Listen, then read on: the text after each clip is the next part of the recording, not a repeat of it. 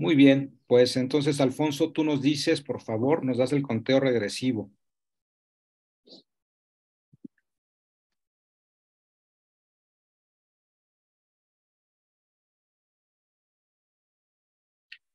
Muy bien, pues entonces voy de atrás para adelante. En 5, 4, 3, 2. Muy buenas tardes. El Seminario Permanente Derecho y Diversidad y el Programa Universitario de Estudios de la Diversidad Cultural y la Interculturalidad de la Universidad Nacional Autónoma de México les dan la más cordial bienvenida a la presentación de los trabajos de investigación del curso especializado Los Derechos de los Pueblos Indígenas y Afromexicanos. Para coordinar esta actividad, queda con ustedes la doctora Elia Avendaño Villafuerte. Muchísimas gracias, Juan Mario. Muchísimas gracias al Programa Universitario de Estudios de la Diversidad Cultural y la Interculturalidad por albergar este seminario permanente de Derecho y Diversidad. Y muchísimas gracias a las y los asistentes a, estas, eh, a esta sesión en donde vamos a presentar los trabajos finales, las investigaciones que se realizaron por el alumnado del curso especializado Los Derechos de los Pueblos Indígenas y Afromexicanos, que se realizó a través del aspicio del CINSUR con eh, la coordinación del de PUIC. Eh, ambos de la UNAM, les agradecemos muchísimo a todas, todos, todes que estén aquí y que hayan sido parte de esta aventura que hoy culmina eh, con sus trabajos de investigación. Les voy a pedir que para iniciar las exposiciones cada persona que sea nombrada abra su micrófono y después de eso haga una pequeña presentación diciendo eh, su nombre y eh, su especialidad o el trabajo o en lo que sea, a lo que se ha dedicado para que nos dé un contexto del tema que nos va a presentar. Y luego tienen entre tres y cinco minutos para exponer su tema.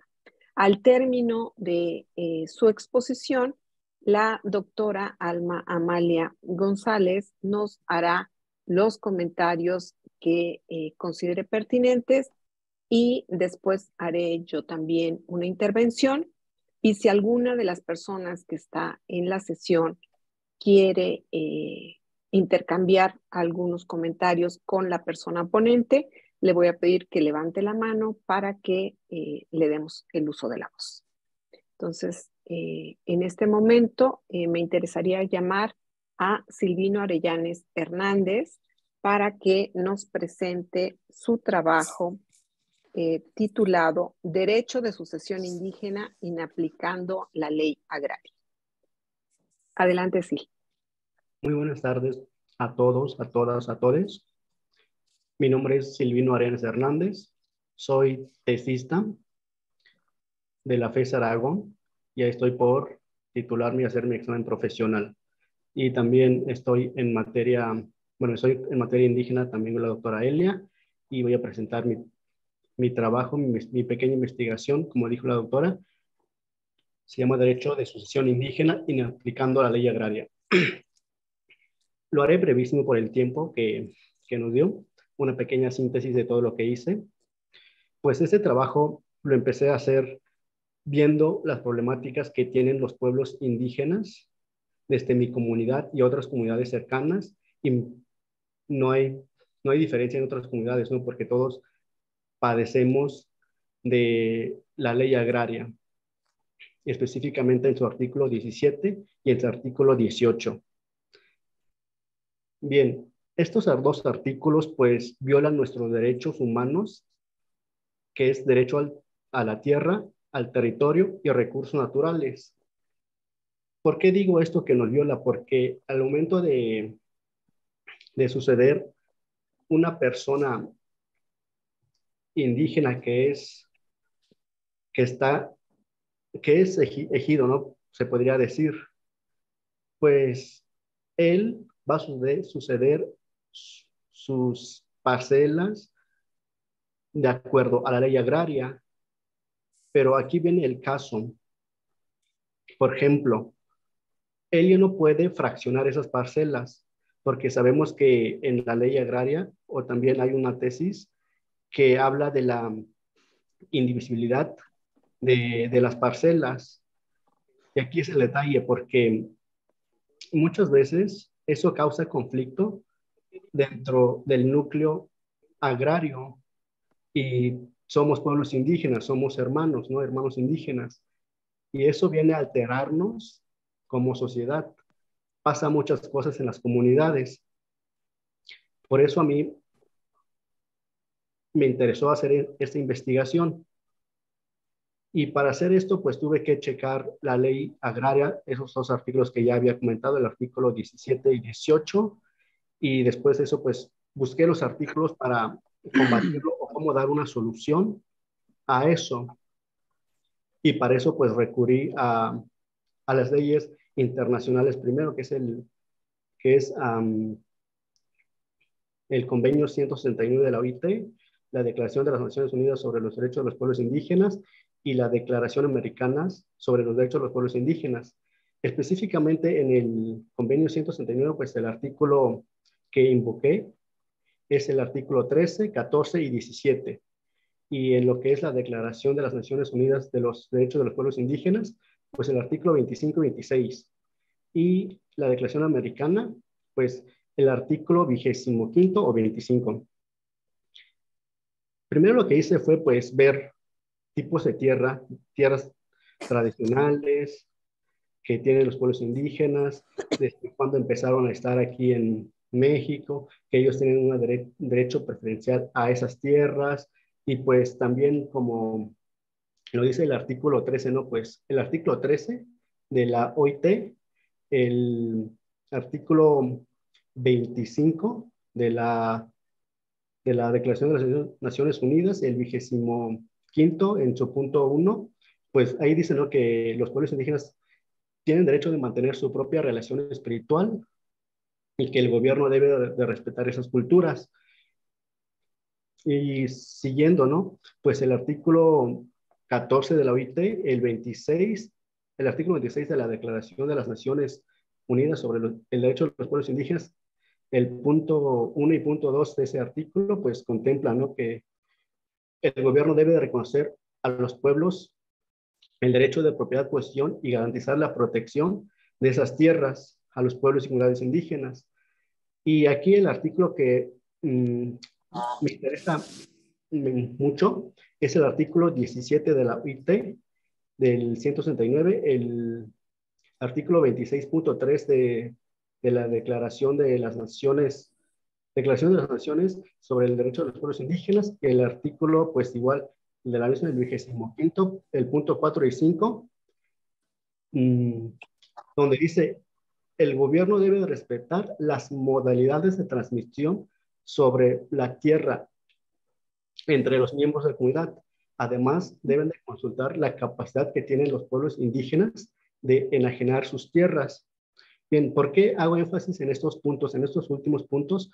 Porque ahí es donde el gobierno debe de respetar la forma en que ellos van a transmitir o suceder sus tierras o parcelas a sus descendientes. Porque, bien, el artículo 17 y 18 de la ley agraria pues da una lista de sucesión, ¿no? Para, para llevar... Un minuto más, Sil. Perfecto, gracias, doctora. Vamos al fondo del asunto. Sí, y para esto, pues, tuve que confrontar estas dos leyes. Y para confrontar estas leyes, pues, tuve que ocupar unos principios. Y esos principios, principio pro persona, ponderación de derechos, interpretación conforme y implicación de normas. ¿Por qué estos principios? Porque a partir de eso, el principio pro persona, pues este consiste en, aplicar la interpretación de un derecho que sea más favorable a la persona. En este caso, la, las leyes internacionales que es el convenio 169 y las dos declaraciones ya mencionadas, pues son las que protegen más a las personas. Y en ponderación de derechos, pues sabemos que es consiste en realizar un análisis cuando dos o más derechos se encuentran en conflictos. Y pues bien, aquí la ponderación de los derechos es que se pondera los derechos humanos consagrados en, en los convenios y en la declaración ya mencionadas y se deja y se deja por un lado el artículo 17, el artículo 27 de la Constitución y el artículo 17 y 18 de la Ley Agraria. Y bajo la interpretación conforme, pues, es una técnica, técnica hermenéutica, cuando existe una laguna legal, un error jurídico. Ahora bien, pues esta interpretación para armonizar los derechos constitucionales con los derechos internacionales sobre derechos humanos. O sea, se debe de interpretar esos dos derechos para ver cuál va a favorecer más a las personas, ¿no? En este caso, pues favorece más a lo que es, son los derechos que están consagrados en, en, en los tratados internacionales que, que, en este caso es el convenio 169 y las dos declaraciones. En aplicación de normas, pues es cuando el juzgador deje de aplicar una norma ¿no? que viola los derechos humanos que estén consagrados en la Constitución o en los tratados internacionales. En este caso, la inaplicación sería el artículo 17 y 18 de la ley agraria y, y que se aplique pues los tratados internacionales. Este, Sil, ya te pasaste el tiempo y creo que todavía no has dicho lo más importante de tu trabajo.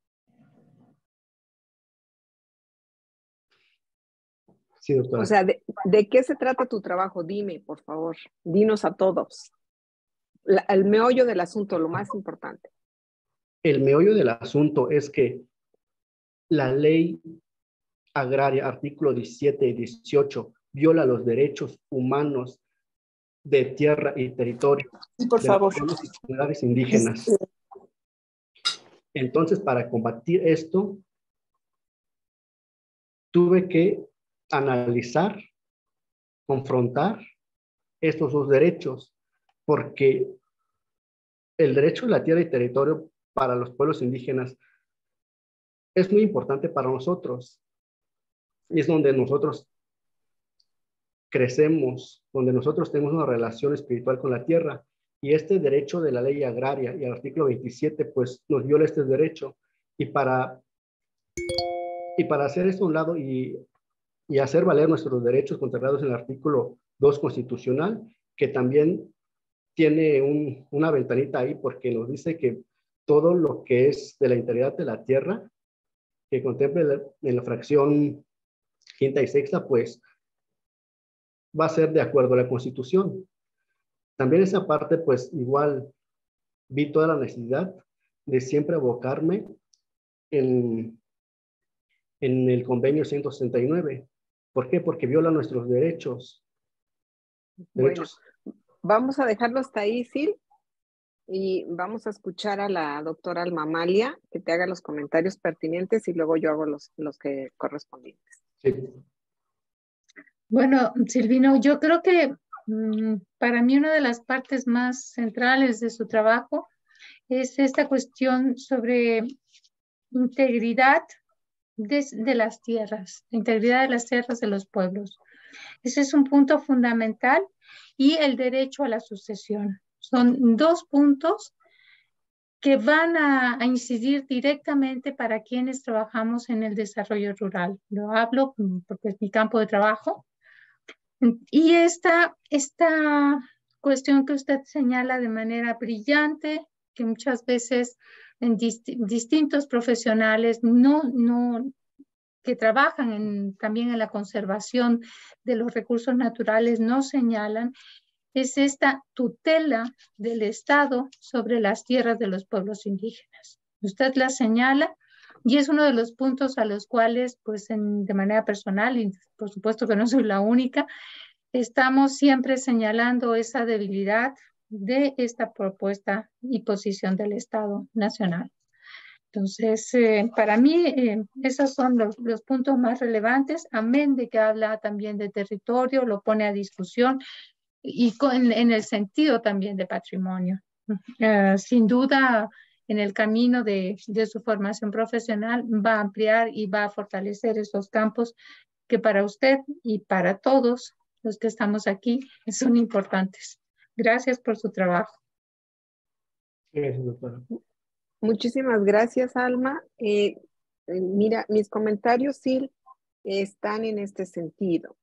Eh, el trabajo es, tiene un tema de mucha importancia, es un trabajo que escarba una situación en, en la que hay graves violaciones de derechos humanos en relación a que existe una obligatoriedad de fuente internacional, es decir, el Estado mexicano está obligado a cumplir el convenio 169 y a partir de eso la Declaración de Naciones Unidas y la Declaración Americana. Y resulta que usted plantea en esta situación que existe una eh, inconsistencia por el contenido de la ley agraria. Y usted da las herramientas para corregir esa circunstancia a través de cuatro herramientas específicas, ¿no?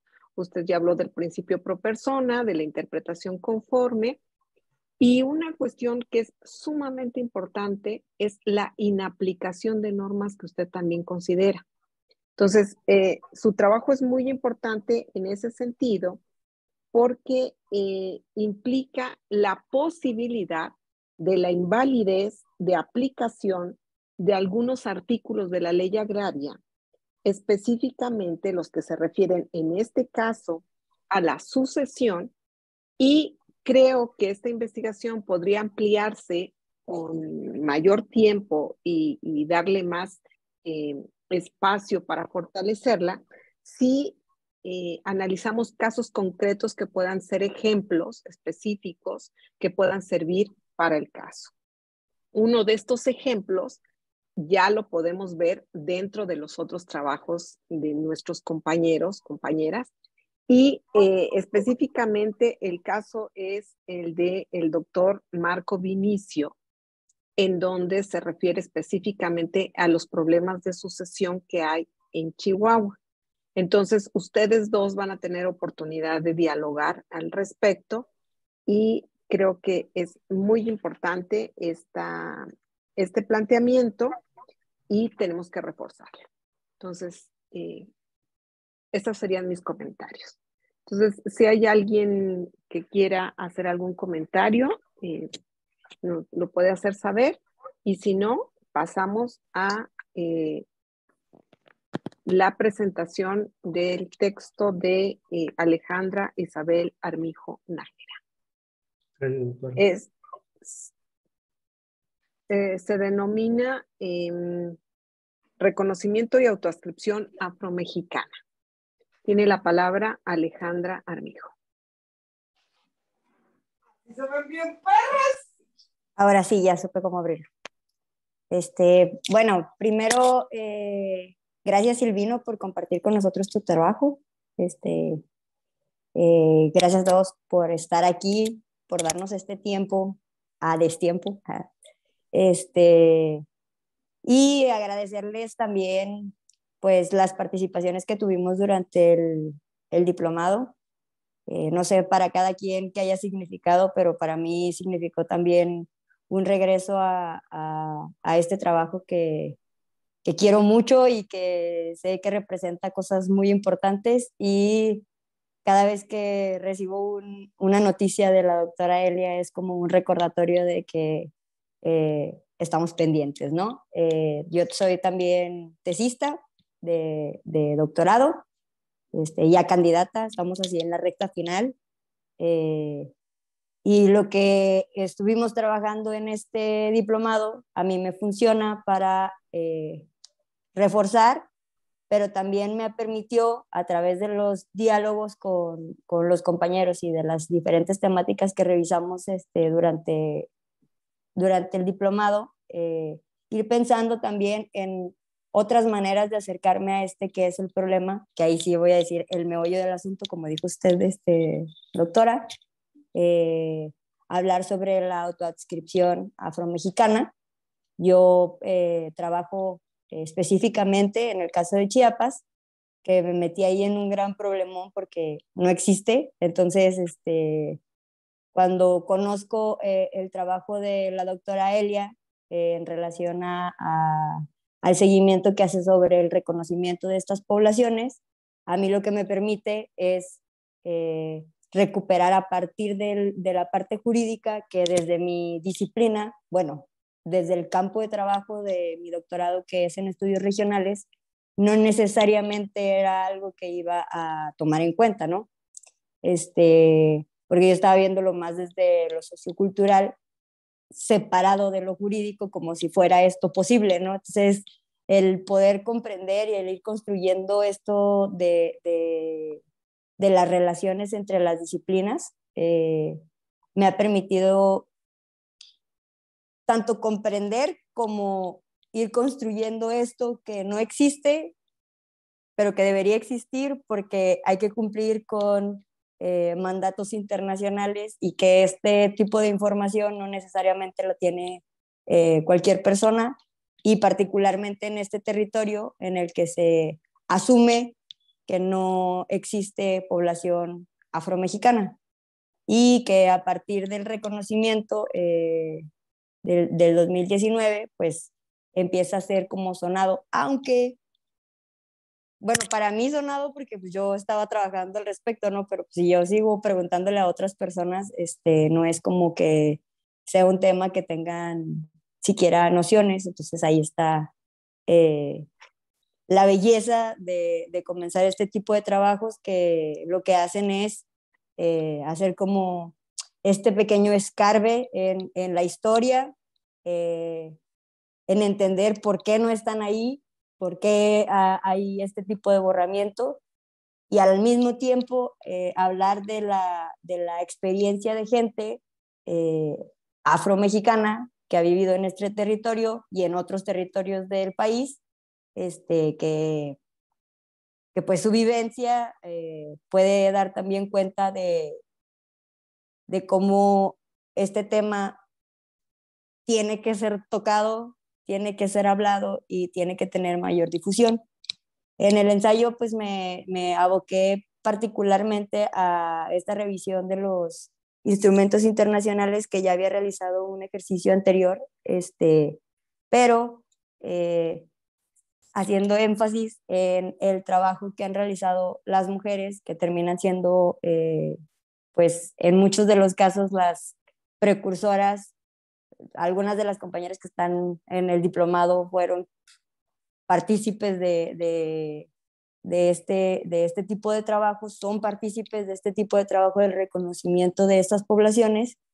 Y también pues hablar de estas diferencias, hablar desde la interseccionalidad, hablar desde reconocer cómo no es lo mismo ser afromexicano en todo el territorio este, nacional y también este, pues tomar en cuenta que no es lo mismo ser hombre que ser mujer, negro, negra, eh, autodenominarse y reconocer también que el único mecanismo al momento este, de, de reconocimiento como persona es, es el mecanismo de la autoadscripción y cómo este tampoco está haciendo, este, no tiene pues eh, la estructura necesaria, o sea, está como muy ambiguo, no hay ahí como un trabajo de elaboración que permita hacer este como como esta distinción, ¿no? O sea,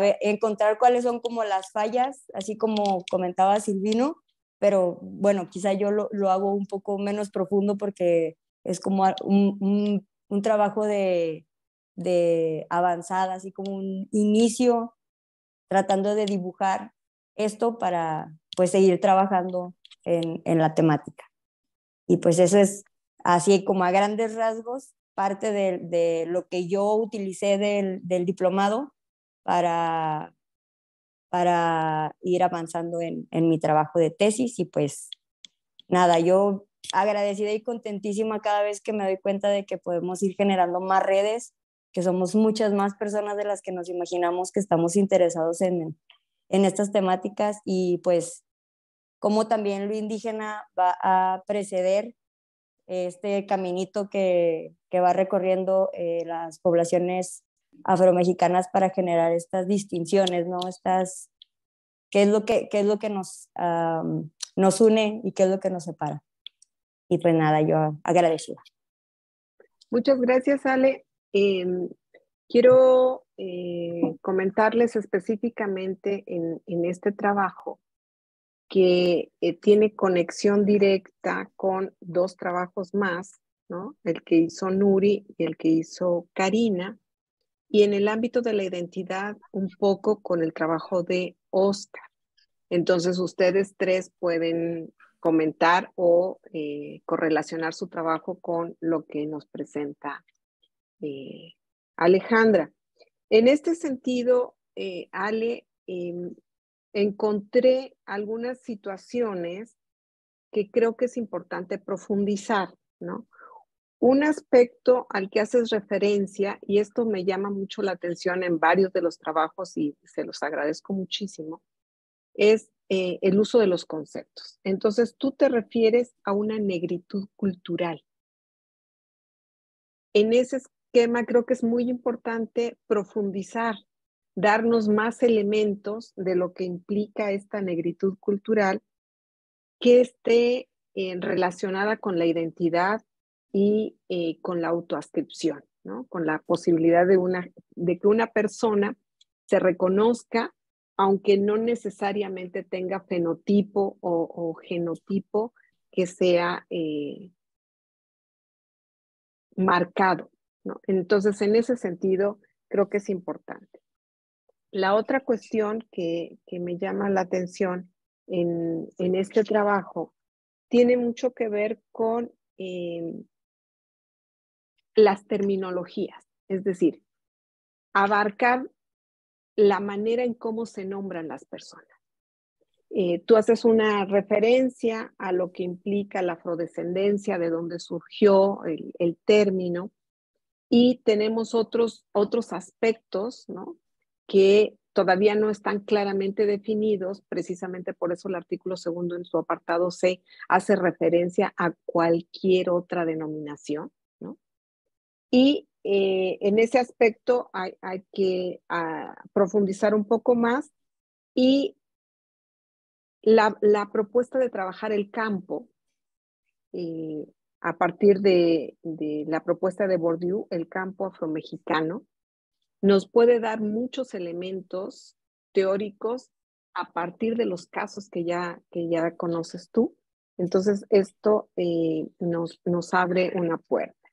La otra cuestión que me llama mucho la atención es esta relación que haces con el racismo y la discriminación racial y una parte importante que tiene que ver con eh, los mecanismos educativos y de política pública o de acción afirmativa. Entonces, eh, en este sentido, creo que es importante resaltar el trabajo de las mujeres y tú lo tomas, lo tocas, ¿no? Pero hay que profundizar un poco más y en este caso, tal vez Karina nos dé más elementos con su propio trabajo.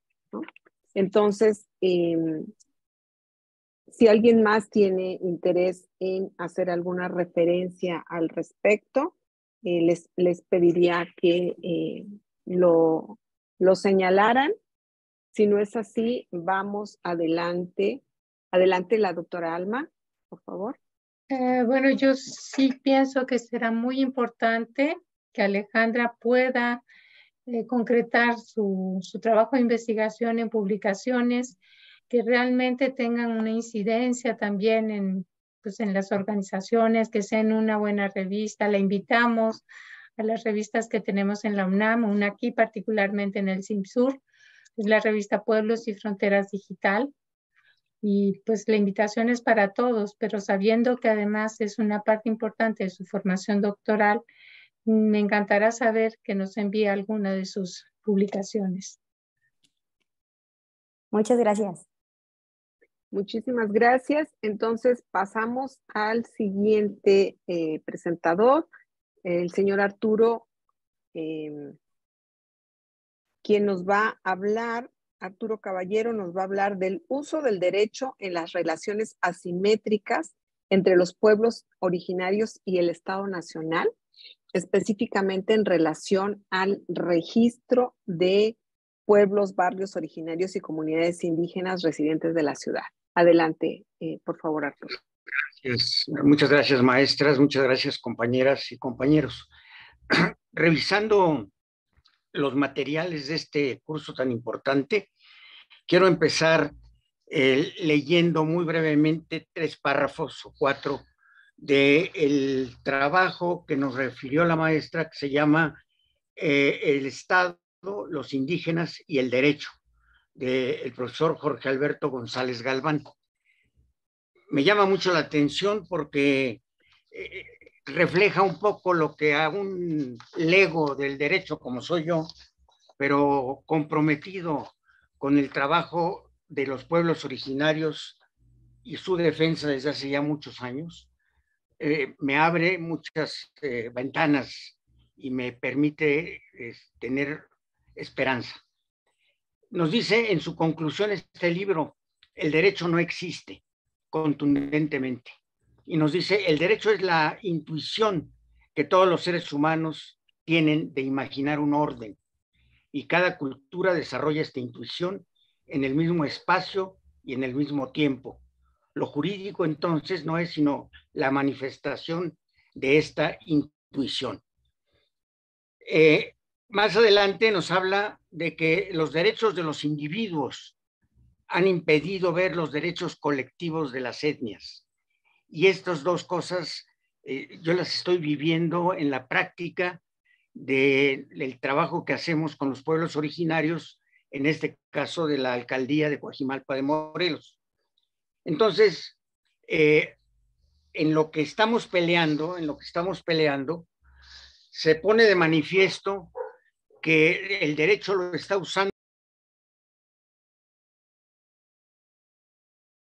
Arturo, su, se silenció su, su micrófono. Perdón, perdón.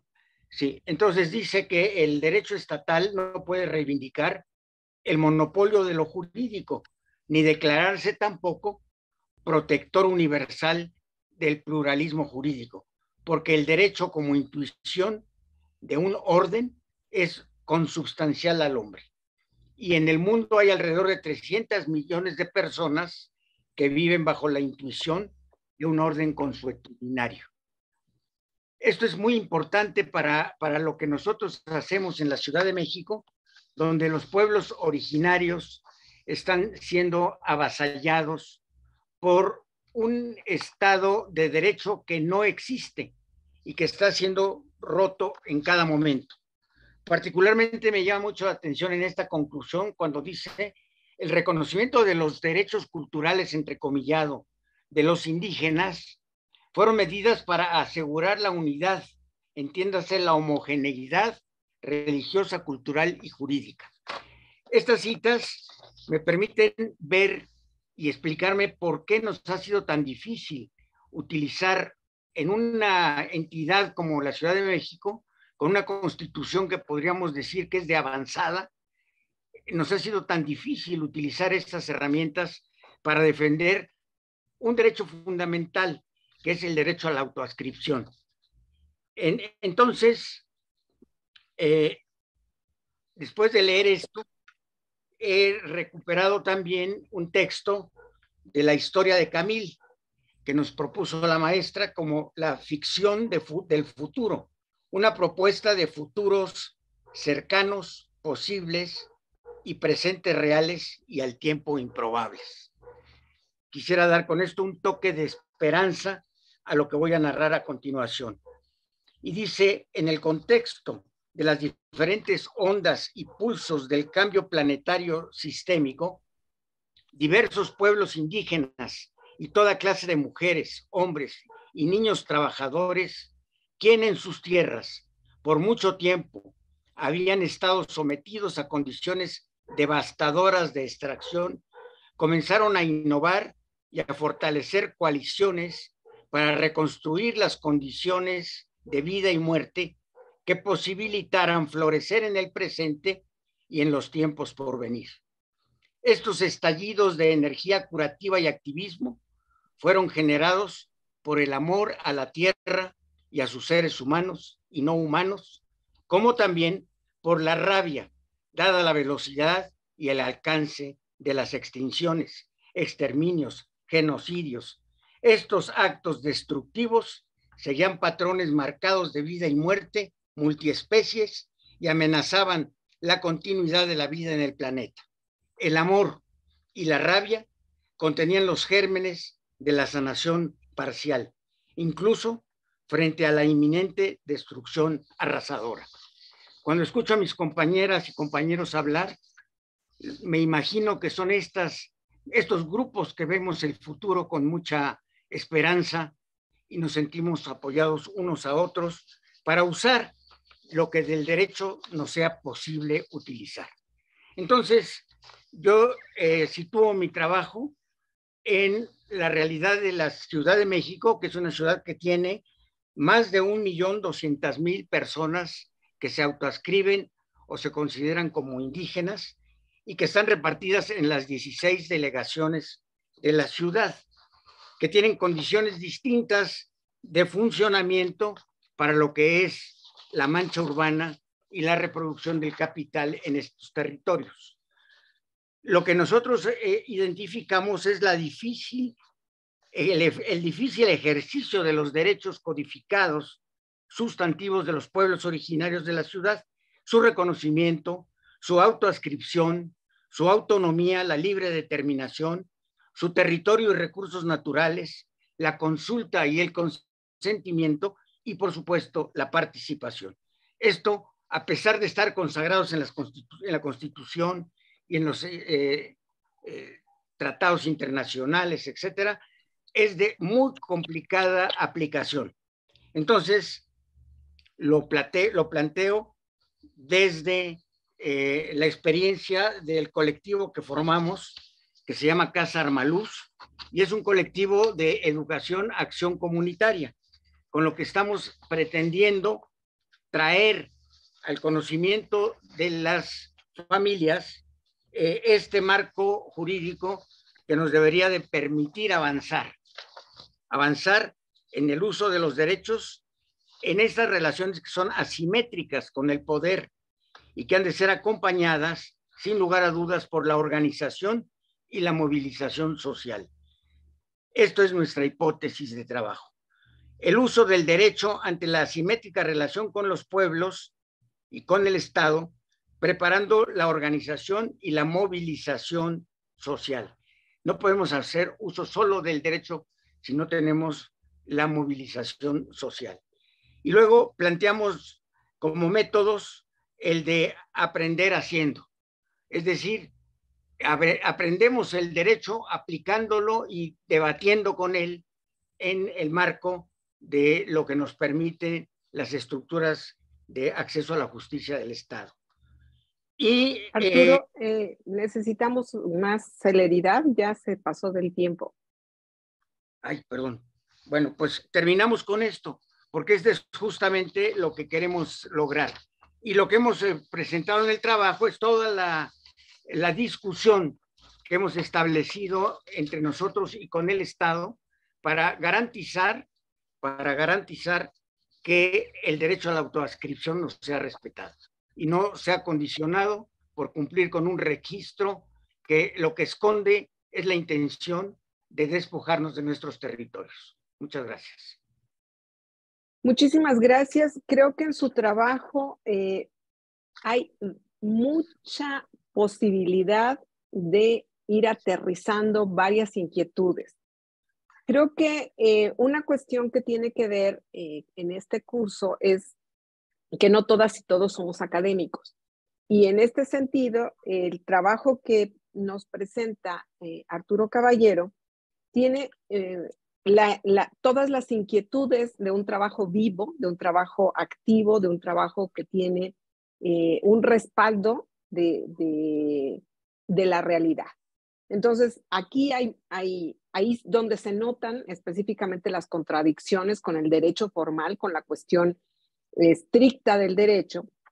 Y en este sentido, creo que su trabajo es muy importante porque nos permite vislumbrar una situación bastante difícil que necesitamos aterrizar, que es este pretendido registro de comunidades, eh, donde usted plantea en su trabajo que eh, es un mecanismo para legalizar el despojo de los territorios de los pueblos originarios de la Ciudad de México.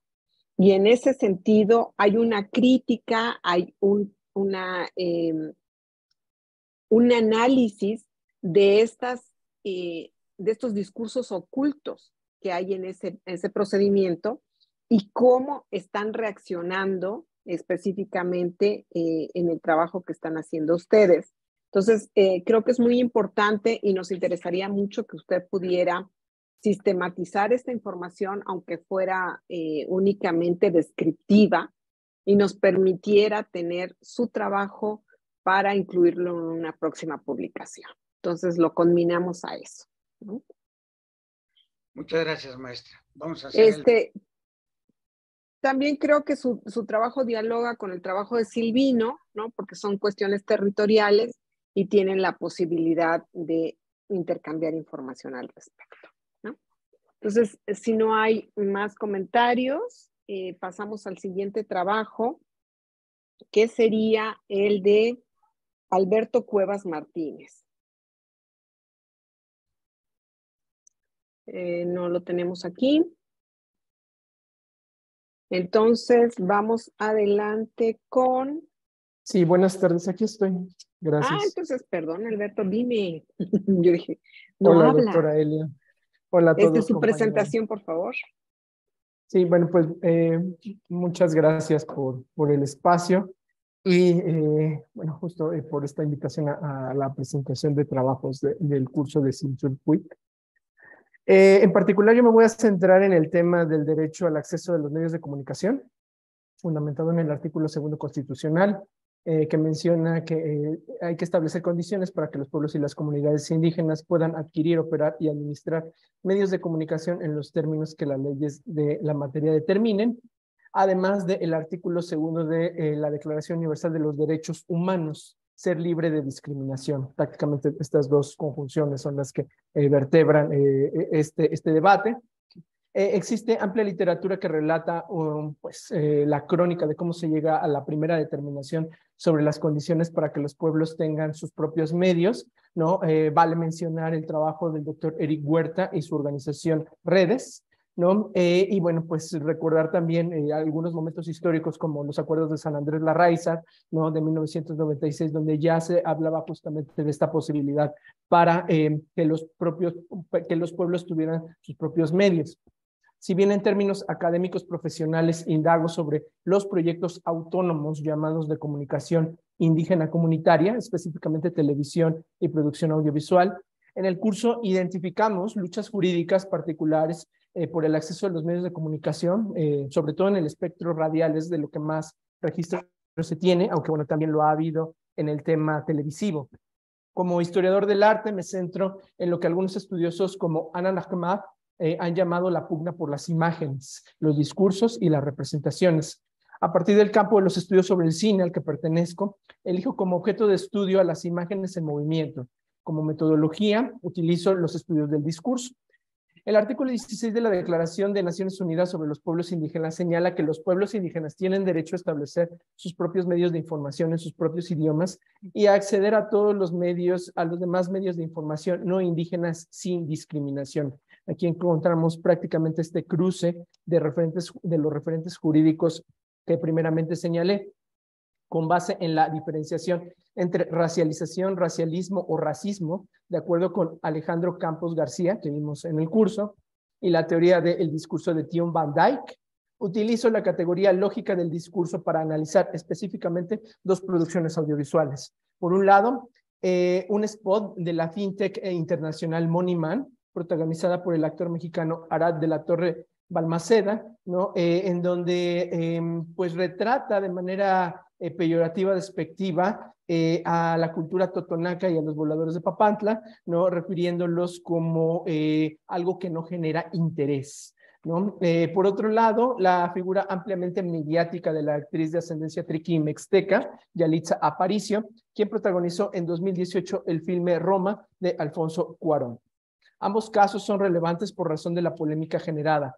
El primero por la discriminación racial contra la cultura totonaca y el segundo eh, justamente por la, eh, todo este devenir y, la dinámica relacional que existió eh, entre el, sector estelar cinematográfico y televisivo contra Yalitza justamente por su origen étnico. por esta razón yo apliqué lo que es en mi ensayo final eh, las lógicas del discurso y específicamente eh, utilicé dos eh, para referir estos dos casos. La primera, la lógica publicitaria del spot de Money Man, pues nos lleva a, y justo el, el ensayo refiere este análisis, identifiqué cómo se simplifican los contenidos de manera estereotipada, se reducen las significaciones profundas y se sobrepone la autoridad textual. En específico, la voz y presencia del locutor, ¿no? De Arad de la Torre, quien se burla de la cultura totonaca que no genera interés, ¿no? Y respecto a los contenidos simbólicos.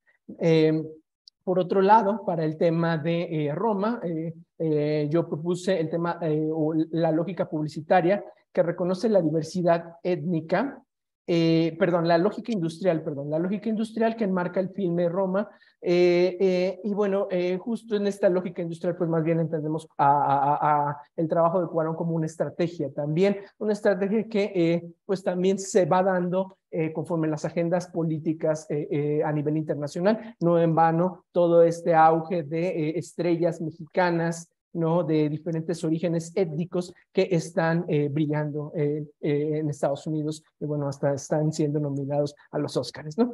finalmente, este punto me lleva a desarrollar en otro trabajo el tema del antirracismo, ¿no? que ya no lo trabajaría específicamente en esta aportación, pero bueno, decir y dejarlo como anotado que la promoción de una cultura antirracista se traduce según Hage en el surgimiento de espacios de empoderamiento de los sujetos racializados mediante la transformación de las relaciones sociales, ¿no? En fin de cita. De ahí, con ello concluyo eh, el tema al que me centro, es decir, esta, eh, este tema del antirracismo eh, es ampliamente visible a partir ya de la producción indígena, la producción audiovisual indígena y toda este, este cauce ¿no? de materiales, de estrategias, de apropiaciones, de enunciaciones regionales o desde las regiones que pues hoy en día se ven en distintos colectivos. Lo incluí, claro, en mi trabajo, pero más bien yo lo, yo lo plantearía como un poquito de manera independiente, a bueno, tal vez dejarlo porque sí conlleva un análisis eh, eh, particular, ¿no? Ya como estrategia antirracista, ¿no? Eh, y bueno, para concluir, ¿no? Tal vez mi trabajo, dado que proviene del, del análisis de la cultura visual y los estudios sobre el cine, pues no tiene una aplicabilidad eh, jurídica, no obstante, eh, funciona como una herramienta para eh, ver, leer y entender las producciones en el ámbito audiovisual y justamente para hacer este cruces en torno de las demandas que se pueden hacer para que la política pública sobre apoyos de cine indígena pueda incluir este, esta, esta, esta categoría, ¿no? Tan, de pronto tan importante como es el antirracismo, ¿no? Se habla de cine indígena y hoy todo mundo acaricia el tema comunitario, ¿no? Pero de pronto, eh, ¿dónde está el antirracismo cuando, sin lugar a dudas, el propio Estado sigue ejerciendo y cine, sigue manifestando una actitud paternalista eh, en torno de estas, de estas estrategias? Muchas gracias. Muchísimas gracias, Alberto, eh, por la concisión, por la claridad, por meter casi todo de su trabajo en su exposición. Eh, eh, quiero decirles que el trabajo de eh, Alberto es un trabajo muy extenso, es un trabajo que tiene muchísima información. Él se refiere en esta exposición a dos, a dos trabajos, pero en realidad habla de muchos más. los utiliza como ejemplo, pero cada uno de los ejemplos da la posibilidad de un trabajo de fondo eh, hay dos cuestiones que a mí me interesaron mucho. Bueno, de entrada, eh, la manera de interpretar eh, esta situación visual con los derechos. ¿no? esta es una parte súper importante de este trabajo. Creo que me estoy trabando un poquito, me dicen si me desaparezco. creo que hay dos cuestiones que me interesa resaltar. Una es esta conceptualización del racismo tolerante en las representaciones. Eh, ese es un aspecto que eh, sería muy bueno que pudiéramos discutir en, colectivo, que, pudiéramos abundar lo que implica las repercusiones, la conceptualización, etc. ¿no? Es un tema sumamente importante. Y el otro es un juego interpretativo sumamente llamativo donde eh, Alberto hace una eh, interpretación de una subexposición de los pueblos con una sobreexposición en eh, la luz. Es decir, no sé si eso lo quisieras explicar un poco porque es muy interesante, como si fueran unas parábolas, pero lo dice de una manera que, nos da la posibilidad de problematizar el asunto. Y, como, bueno, e, este trabajo no es precisamente jurídico, sino tiene estos componentes, eh, nos da esta posibilidad de jugar con esa información. Y eh, eh, ahorita te doy la palabra porque sí me gustaría mucho que las y los compañeros pudieran tener claridad en estos conceptos. Creo que tocaste muy poco el caso de Viviana Guerrero, que nos daría también muchas posibilidades de de abordar el tema y que a las mujeres nos interesaría porque es un caso paradigmático también de lo que pasó. Y creo que eh, utilizar el cine como una estrategia antirracista con esta, eh, estos ejemplos que tú pones del cine comunitario, llamaría yo, no tanto indígena como dice tu, tu entrevistado, que ese es un, es un título que no, no sentimos, ¿no? Pero, pero es decir, hacer un cine en conjunto, esa, esa parte me interesó mucho. Entonces, a mí sí me interesaría mucho que nos, nos dieras algunas ideas sobre esto. Eh, sí, claro que sí. Eh, brevemente, eh, en torno al tema de la exposición sobre ISUB, es un debate que George Didi Uberman lo planteó para hablar de pues, los sobrevivientes de la Shoah ¿no? y el holocausto, ¿no? E, en específico utiliza esta eh, metáfora ¿no? sobre eh, en torno de la eh, exposición fotográfica, ¿no? la sobreexposición cuando de pronto hay mucha luz ¿no? y no nos permite ver al sujeto digamos, en su tono como debería, ¿no? Y la subexposición cuando carece de luz. Entonces se hace una analogía, Didi Uberman la hace con los, los pueblos eh, bueno, en este caso con, con el pueblo judío, ¿no? Eh, y yo lo extrapolo, ¿no? Hacia el tema de la alteridad indígena, ¿no? Eh, para el caso de México, y bueno, específicamente lo, lo embrico con, ya con, las producciones audiovisuales, ¿no? Como, bueno, esto es parte de mi proyecto doctoral, ¿no? Es una categoría que pues reviso y analizo, este, estamos analizando en el proyecto, ¿no? De hecho, todavía seguimos en ese proceso, ¿no? Entonces, sí es muy importante, eh, lo, lo, reduje muchísimo, sin lugar a dudas, justo para poderme concentrar en el tema jurídico, ¿no? Y de pronto no andarme sobre las ramas, ¿no? Y por otro lado, para el caso de Vida de Guerrero, sin lugar a dudas, es, es, es importante. Lo, lo, dije al final, que tal vez lo, lo, lo ponía como un punto, eh, es decir, hablar de la estrategia antirracista o del cine como estrategia antirracista, no eh, eh, vendría a ser ya como otro trabajo. Es decir, a mí me interesaría justo como hablar de cómo eh, estos dos casos, no tanto el spot como como pues Yalitza y todo su poder mediático, ¿no? Que pues devino ya en su propia presencia dentro del Congreso para exigir todo este tema del derecho laboral para las mujeres, ¿no? Que que justamente trabajan eh, en casas, ¿no? Eh, eh, creo que eso es, eso es muy importante, ¿no? Y, bueno, pues llevaría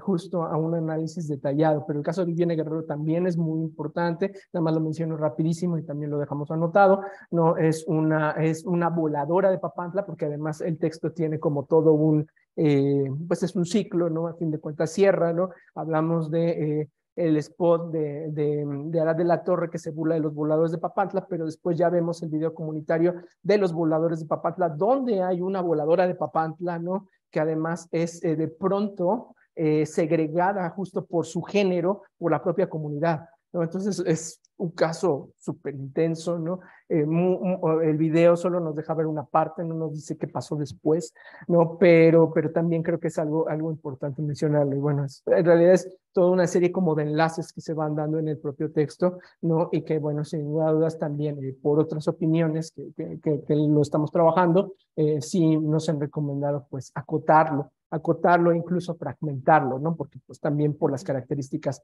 de las publicaciones. Gracias. Muchísimas gracias, Alberto. Si nadie más tiene observaciones, pasamos al trabajo de Karina Luna. ella nos habla de habitar el estado mestizo desde la negritud. Entonces, eh, por favor, abre tu micrófono. Hola, muchas gracias. Buenas tardes a todas y todos. Eh, bueno, primero quiero agradecer por el espacio que nos comparten hoy y pues gracias a los compañeros que han expuesto sus temas. Me parece que es interesante porque eh, escuchando al compañero Arturo cuando habla acerca de de los procesos ¿no? a los que se enfrenta su comunidad respecto a, los nuevos planteamientos ¿no? sobre estructuración y reorganización territorial. Me parece que un tema que sigue siendo presente en la exposición de Arturo, pero también de todos los compañeros y respecto al tema de pueblos indígenas, es que eh, las políticas actuales siguen eh, intentando construir un sujeto ciudadano, ¿no? mestizo y mexicano, que, y que justo, ¿no? Este sujeto mestizo mexicano, pues, está construido eh, con el fin, ¿no? De, de erradicar un poco o invisibilizar a los pueblos indígenas o las comunidades, comunidades y barrios indígenas del, de la ciudad, ¿no? Entonces creo que es está como muy interesante plantear estas discusiones aquí, ¿no? Y bueno, eh, ya pasando a mi tema, la investigación que yo estoy desarrollando respecto al al tema afro en México en realidad pretende ser un acercamiento o un instrumento para el desarrollo de una política pública para los afrodescendientes del país. Y bueno, esta política lo que pretendo es que incluye una perspectiva histórica, pero también ética, que busca resarcir los daños históricos de estos pueblos, como ha sido el racismo estructural, la discriminación racial y otras formas de discriminación. Aquí me enfrento como a un reto que es, por ejemplo, que eh, los pueblos afrodescendientes en el país hasta ahora en sus demandas no han este, incluido una reparación de los daños históricos, ¿no? hasta el presente me parece que es un tema que, que recién se empieza a tocar y que lo he visto en la agenda, por ejemplo, de, de una de las senadoras del país, eh, María Celeste me parece, y bueno, que también la semana pasada, el lunes pasado, tuve el gusto de conocer a Nuri y que ella también hizo referencia a este tema, ¿no? Sobre las reparaciones o afroreparaciones en México. Y bueno, ese es como uno de los retos a los que me enfrento más en el futuro. Y bueno, el tema de esta presentación, habitar el estado mestizo desde la negritud, he retomado a partir de un apartado de mi investigación en el, de, en el que reconstruyo un panorama histórico y contextualizo eh, el momento en que se gesta esta relación tensa o de invisibilización de la, de la población afrodescendiente con el Estado. Y bueno, este momento lo ubico específicamente eh, con la formación del Estado étnico, el Estado mestizo o bien el Estado racial, ¿no? Durante el siglo XIX con la formación de los estados nacionales en Latinoamérica. Y que bueno, esta relación entre el Estado y los pueblos negros se gesta a partir de lo que yo considero es una cultura política mestiza, que es resultado de, un conjunto de prácticas, eh, pero también de, este, de juicios y valores. Que conforman, eh, pues, este mestizaje, ¿no? Este ideal de mestizaje o la idea de mestizaje en, en México. Este, y que también justifica, ¿no? Esta cultura política mestiza justifica estas prácticas racistas y de racialización y discriminación hacia los afrodescendientes, pero también hacia los pueblos indígenas, ¿no? En México, como les decía, con el fin de forjar este sujeto ciudadano mestizo o bien mexicano. Y bueno, justo es esta política de mestizaje eh, y de blanqueamiento, ¿no? Que se vivía en México durante el 19 eh, y que aparte fue como reforzada, ¿no? Por, por intelectuales como Manuel Gamio y Aguirre Beltrán, Luis Mora, ¿no? Quienes a través de estas teorías biologicistas eh, y culturalistas también fomentaban estas teorías, pero también prácticas del mestizaje. Y bueno, en este proyecto de este Estado mestizo eh, es donde yo ubico que la población negra queda invisibilizada, ¿no? Dentro de este discurso eh, del mestizaje, pero que también a la vez en este discurso o este discurso del mestizaje eh, es donde se funda como este rechazo hacia lo negro o hacia la negritud, ¿no? Y, bueno, tenemos así que el mestizaje se orienta siempre hacia la blanquitud y desprecia lo negro. Y, y, bueno, que este desprecio hacia lo negro, hacia lo negro, perdón, lo podemos ver en, en diferentes prácticas. Eh, recién leía una investigación de Lewis, un antropólogo, en el 2000, eh, donde estudió una comunidad morena en San Nicolás Tolentino, en la Costa Chica, quien les preguntaba a los habitantes sobre cómo se identificaban ellos. Y ellos, este, por un lado, preferían llamarse como eh, indios morenos, ¿no? Y, y, esto como con el fin de un poco blanquearse ellos mismos, pero también de, de, este, de validar su identidad a través de ciertos grupos ya institucionalizados, ¿no? como son los pueblos eh, indígenas en México. Y bueno, en un segundo momento de mi investigación, lo que planteo realizar es un estudio de los avances que se han llevado a cabo desde el Estado con respecto al tema afro en México y cuáles son las soluciones reales que estos avances han tenido sobre las poblaciones afrodescendientes. Por ejemplo, tenemos la reciente inclusión de la pregunta de autoadscripción afrodescendiente o afromexicana en el censo de 2020.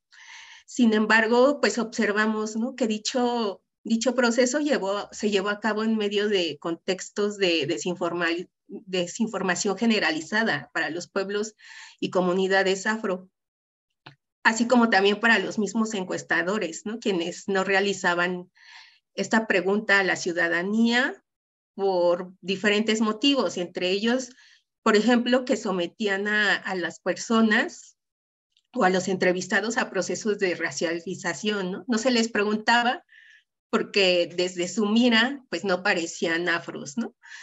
Eh, y bueno, también podría ser porque pues no se realizaba esta pregunta con motivo de no ofender a la, al entrevistado. Y bueno, como les comentaba, el lunes pasado estuve en un congreso, el Congreso Afro-Indoamérica. Ahí tuve como la oportunidad de escuchar la participación de otras compañeras.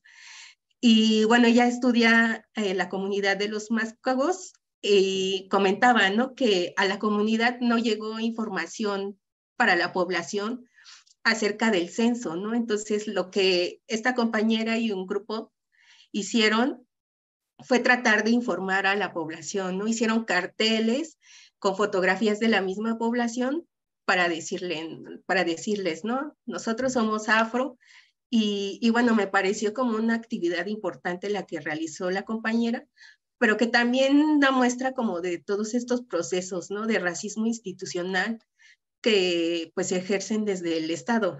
Eh, y bueno, también creo que otro de estos avances que se han llevado, pues como es la inclusión dentro de la Constitución en la modificación del artículo segundo y en específico el apartado C, eh, creo que esta reciente inclusión dentro de la Constitución es realmente significativa. Eh, sin embargo, considero que esta inclusión es únicamente de carácter nominativo y formal, más no sustantiva, porque eh, pues esta inclusión hasta ahora no ha generado unas políticas públicas con una perspectiva culturalmente diferenciada hacia los pueblos afrodescendientes, ¿no? para que contribuyan a borrar pues todas estas brechas de desigualdad que persisten en los pueblos afro Y bueno, creo que aquí también está Beatriz eh, Amaro, ¿no? Eh, recuerdo que para mi trabajo recuperé parte de su investigación acerca de los resultados del censo, ¿no? Y me parece como realmente sorprendente los resultados oficiales que se muestran eh, para el censo, ¿no? Eh, donde donde este, las estimaciones de, de la población afro están como por encima, ¿no? De la nacional, ¿no? Respecto, por ejemplo, a educación o salud, y que son este, resultados que realmente contrastan, contrastan perdón, con, pues, con la realidad que se vive en las poblaciones afrodescendientes del país, ¿no? Y bueno, también pues vemos que eh, como parte de estos racismos estructurales, pues también los pueblos negros eh, aún no se encuentran dentro de todas las denominaciones institucionales del Estado, ¿no? Por ejemplo, dentro de la ley del INPI, en muchas situaciones o casos no se hace referencia a los pueblos afrodescendientes o afromexicanos. Y bueno, pues como por último y conclusiones, pues creo que como el gran reto al que me enfrento es poder construir o eh, formular un instrumento ¿no? que permita crear estas políticas eh, públicas con perspectiva eh, histórica y ética y que de hecho, bueno, es algo que se encuentra bien sustentado y que, bueno, lo cito más ampliamente en mi trabajo de investigación. Estas políticas o reparaciones de los daños hacia los pueblos afro pues se sustentan en el artículo segundo de la Convención Internacional sobre la eliminación de todas las formas de discriminación racial, pero también en la Declaración de Durban. Entonces, hay un sustento, este, pues político, ¿no? Que puede ayudar a reforzar esta idea. Y pues fue todo. Gracias. Muchas gracias, Karina. Este, Beatriz, no sé si quieres hacer algún comercial del texto que se acaba de publicar. El, trabajo de Karina retoma eh, la presentación que nos hizo Beatriz hace ya algunos ayeres, pero que ya está publicada eh, a partir del trabajo de Muafro y es muy importante. Adelante, Beatriz.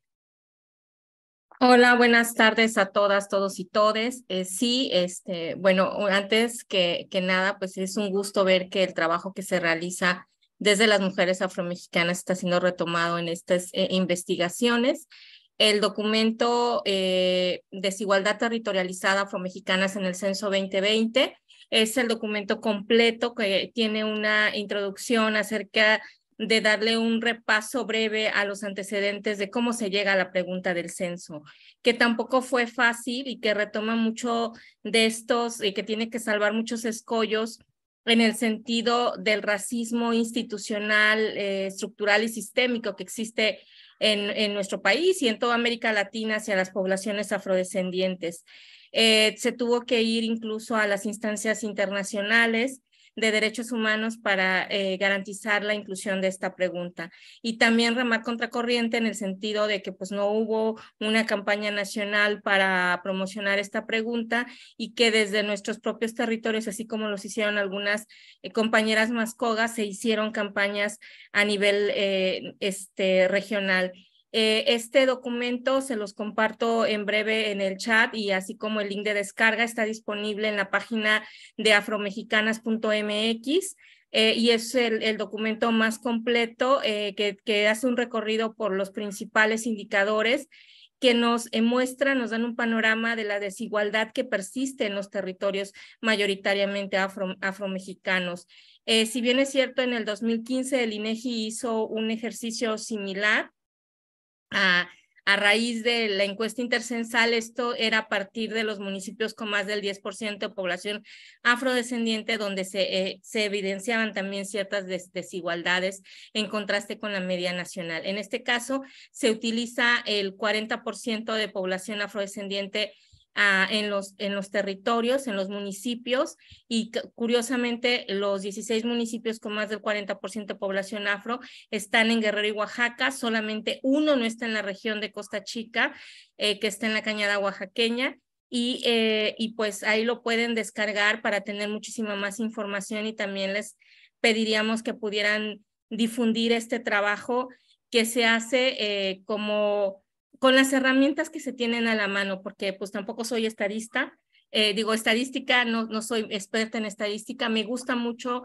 intento manejarla y pues ahí vamos buscando las herramientas que nos den la posibilidad de decirle al Estado con sus propias, este, con sus propias estadísticas, con sus propios datos oficiales. O sea, yo no estoy inventando nada, nosotros no estamos generando estos datos porque pues pudiéramos tener eh, la capacidad intelectual, pero no la capacidad este, territorial, la capacidad eh, en fuerza de trabajo y ni los recursos para hacerlo, ¿no? Desde Moafro también estamos visibilizando eh, el impacto de las, que tuvo en las mujeres afro el COVID y aparte también con otras investigadoras de CIESAS estamos llevando a cabo, empezamos iniciando un, una encuesta piloto eh, que tiene que ver con las violencias eh, múltiples que vivimos las mujeres afromexicanas, cuya, eh, donde no hay datos porque tampoco se quiso incluir la pregunta sobre afrodescendencia en la ENDIRE 2021, ¿no? Entonces, seguimos trabajando, seguimos articulando desde el territorio y también con otras redes a nivel nacional y a nivel internacional en donde, por ejemplo, la doctora Elia Avendaño y yo tuvimos la oportunidad de estar en Brasil con más de 160 mujeres de América, negras de América Latina, compartiendo el trabajo que se hace desde México, pero también el que se hace desde otras latitudes y cómo podemos seguir en la incidencia internacional a partir de, por ejemplo, solicitar al, a, la, CEDAW una recomendación general sobre mujeres afrodescendientes. Acaba de ser la de mujeres indígenas, gracias al trabajo articulado de redes de mujeres indígenas de toda América Latina este, y otros contextos del mundo y entonces estamos tratando de iniciar una, una incidencia eh, similar para que haya una recomendación eh, específica sobre una recomendación general sobre mujeres afrodescendientes en la CEDAW. Y eso solamente se va a hacer eh, con base en la articulación internacional y también con el apoyo de ciertas aliadas y aliados en, los contextos nacionales. Y bueno, es un gusto estar aquí este, y pues se hace lo que se puede y ahí ahorita les comparto ya el, el documento y el link de descarga. Muchas gracias. Muchísimas gracias, Beatriz. Gracias por estar en esta clase. Ya sé que tienes múltiples ocupaciones. Eh, yo nada más quiero hacer algunos comentarios a Karina respecto de su trabajo. Eh, un concepto que creo que es importante que trabaje y, le dé eh, más contenido, que está bastante hablado en, el contenido, pero que me gustaría que resaltara, es esta comunidad imaginada, ¿no? O sea, el concepto de comunidad imaginada y cómo se utiliza en, el texto. Eh, creo que hay un planteamiento amplio de la situación de la historia, otro tema que me llamó la atención es esta referencia al estado étnico, ¿no? Que mm, estaría muy bien eh, la conceptualización de lo que implica el estado eh, étnico. Em, otro planteamiento que también me llamó la atención es de la, la estructura jerárquica de las diferencias, que tiene que ver un, poco con el trabajo también que hace este, Alberto y eh, lo que tiene en relación de cómo se eh, estratifica lo social, ¿no? En ese sentido me, llamó la atención eh, la referencia a los pueblos, al primer festival, al primer encuentro de pueblos negros, que es importante retomarlo y, y aterrizarlo. hablar sobre la cultura política mestiza, haciendo esta diferenciación que implica y, cómo invisibiliza o puede invisibilizar a los, a los pueblos afro. Y eh, en relación a la justicia reparativa, este es uno de los mecanismos que ahora está eh, impulsando el Foro Permanente eh, para los Afrodescendientes, que está presidiendo Epsi Campbell. Entonces, a lo mejor y te, te puede servir em, checar información sobre eh, los planteamientos que está haciendo eh, para demandar a los estados estas reparaciones. Entonces vamos adelante con uno de los trabajos que yo no sé si tengamos algo que decir, pero sería bueno, de Marco Vinicio Morales. Hola, buenas tardes. Este, eh, no estoy como en las mejores condiciones para una conexión, pero bueno, este, aquí estoy y, y, por lo mismo pues trataré de ser, ser breve, no, no puedo poner ahí la, la cámara para que no me falle el, internet. Sí, está bien. Este, pero eh, bueno, ahí les comento. Pues primero agradecer el espacio en el, en el, en el curso, ¿no? Eh, me, me, me, vino muy bien, ¿no? Adentrarme a, a, el análisis, ¿no? Eh, este, una, pues sí, una introducción para mí es al, al, tema del análisis de los derechos de los pueblos indígenas y afro, afromexicanos. Eh, y bueno, me dotó de, de, de, herramientas que, que, complementan mi trabajo antropológico eh, y que para este caso, para este curso, el trabajo que presenté pues deriva de, de una solicitud de un peritaje, justamente un peritaje antropológico, eh, que deriva de una demanda interpuesta por una comunidad rarámuri o tarahumara en, en la Sierra Chihuahua, y, y el cual eh, esta, esta, demanda está vinculada a, de acuerdo al, promovente, o de acuerdo al argumento del promovente, a la violación de un conjunto de derechos que están garantizados pues, por normativas nacionales e internacionales. Eh, la cuestión de fondo es un cambio en la ley agraria principalmente eh, que en, en, en, el proceso ¿no? administrativo de sucesión ejidal solicitan actas de defunción este, eh, para hacer e-, esa transmisión en la sucesión de propiedad, eh, pero el Estado pues, no garantiza los servicios de las instituciones correspondientes em, para garantizar este, este acceso o este trámite de las actas de, de, de pero también las de nacimiento. ¿no? Entonces, es, hay una, una combinación. Eh, y lo que solicita el juzgado octavo en el peritaje es verificar, ¿no? Este, que en esta comunidad eh, se cumplan o se, o se, mantengan eh, en la práctica sus usos y costumbres, ¿no? Entonces, eh, en cuanto a los conceptos, pues parto más bien de la idea de, de, los sistemas normativos, hago una revisión bibliográfica sobre esta definición, retomo algunos autores, entre ellos Francisco López Bárcenas, para eh, pensar o, o, plantear el entendimiento de lo normativo Raramuri en términos muy amplios, ¿no? holísticos, integradores de las dimensiones sociales, culturales de, de este pueblo. ¿no? Entonces, pensando en, digamos, en términos diacrónicos, eh, el, pueblo tarahumara se ha caracterizado por esta apertura a la interculturalidad, la aceptación, a partir obviamente de procesos hegemónicos, de, eh, de las formas y modelos de organización social que imponen los estados, desde el estado colonial, el estado nacional mexicano, hasta el neoliberal actual también, eh, y van ¿no? Eh, apropiándose, ¿no? ajustándolo a sus propias formas de organización, pero el Estado nunca mira estas formas propias. ¿no? Este, a pesar de que están presentes y eh, vigentes desde hace pues, varios siglos, literalmente, ¿no? Entonces, en ese sentido, por ejemplo, esta sucesión ejidal pues se realizaba en las asambleas ¿no? eh, ejidales, de acuerdo a una lista, de acuerdo a las actas que se asentaban, sin mayor eh, cuestionamiento, ¿no? En ese sentido, adaptándose, apropiándose de estas formas, pero el Estado una y otra vez les cambia la jugada, digamos, y es ahí donde empiezan a, suceder estos desajustes, estas eh, eh, situaciones de desigualdad, y en este caso, pues se evidencia al no, al no contar con, con las actas, han hecho todo un peregrinar por las instituciones este, para tramitar estas actas, pero siempre pues le cierran las puertas literalmente, ¿no? O no las abren, mejor dicho, bajo argumentos pues administrativos.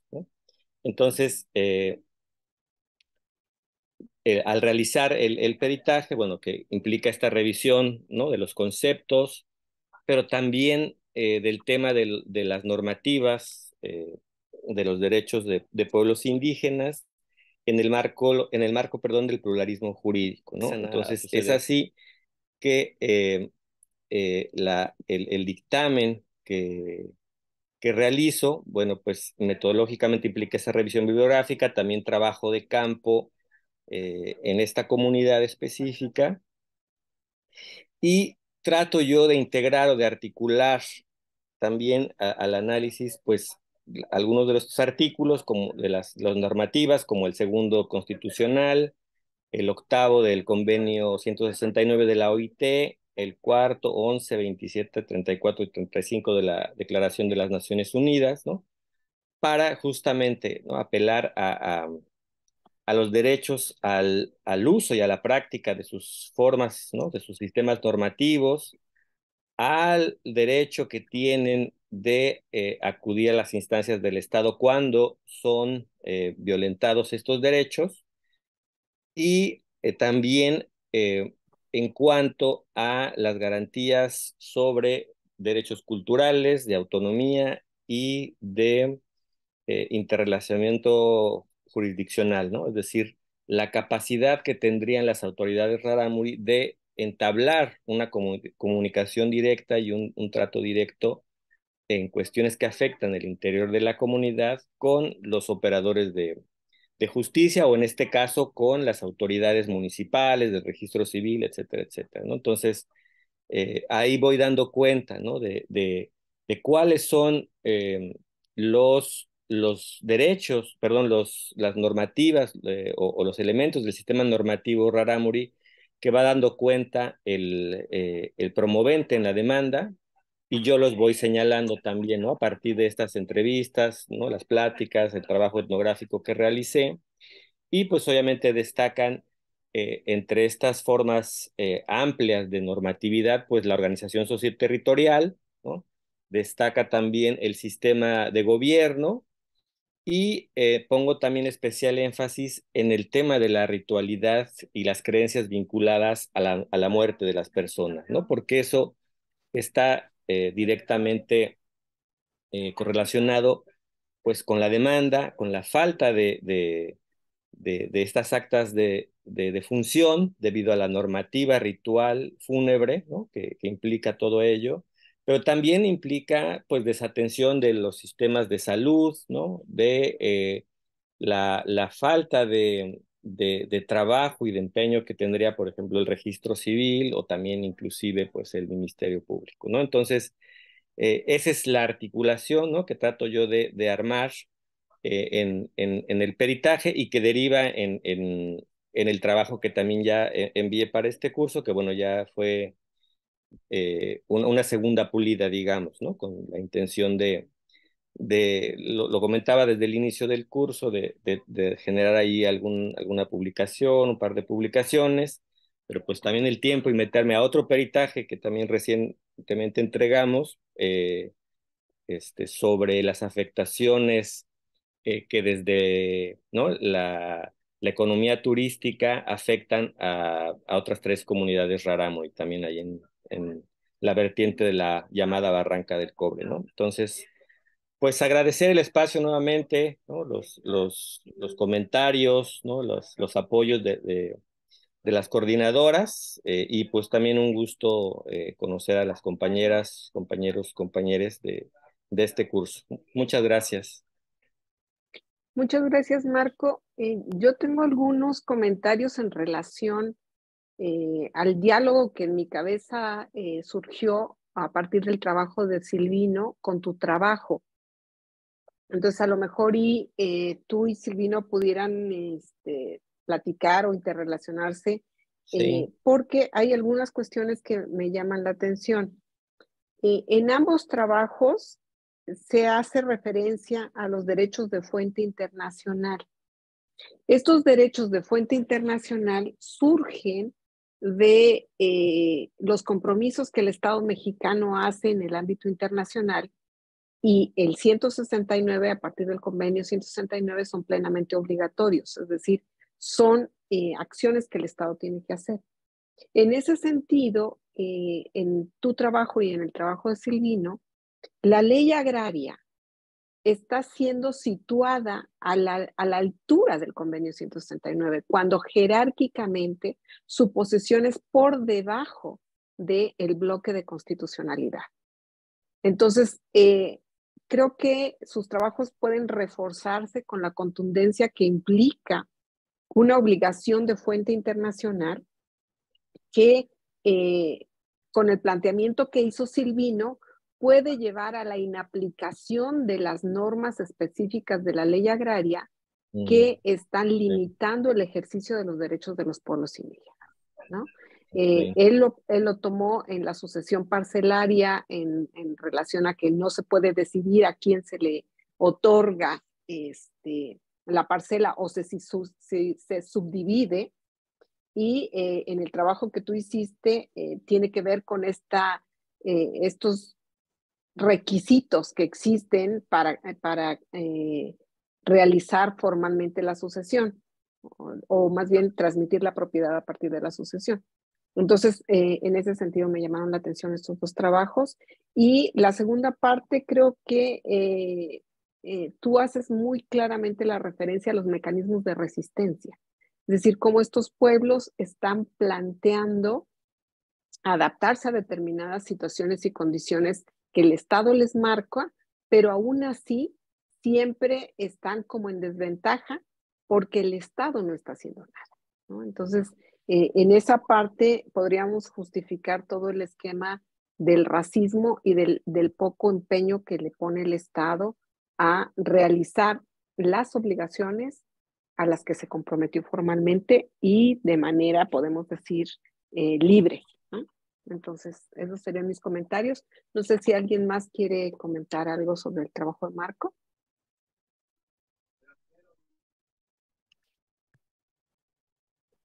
Si no ah. hay, ahí está. A ver, hay dos. Bueno, ahí está Alma. Adelante, Alma. Bueno, yo solo quiero remarcar que para mí es eh, uno de los trabajos que mm, a mi juicio es más consolidado digo, sin duda la experiencia es lo, lo que, la experiencia y el compromiso y que ha sido muy generoso al compartir su, su conocimiento y su experiencia en este espacio.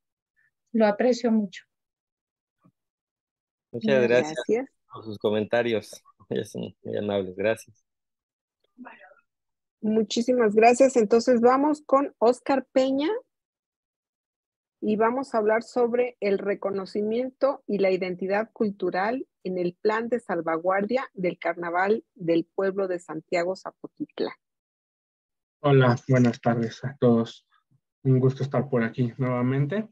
Y sí, bueno, el, el trabajo básicamente pues retrata un proceso que tiene nueve años ya que, que comenzó, que empieza con un taller ¿no? de, para la elaboración de este plan de reconocimiento sobre el carnaval en ese momento las comparsas aquí en Santiago Zapotitlán, bueno, primero un poco de contexto, se sitúa aquí en Santiago Zapotitlán en la alcaldía Tláhuac y existen 11 comparsas en la actualidad, las cuales no estaban organizadas entre sí, cada una iba como por su parte con su pliego, sus rutas, por protección civil y demás en ese tiempo a la delegación, y a partir del plan comienza una organización de, todas estas, estas comparsas. Aquí lo interesante es que aunque pareciera que siempre fue como una relación pues sana, digamos, o fraternal con, con las autoridades, pues nunca ha sido así, al contrario, el proceso se ha visto parado y ha durado tanto tiempo.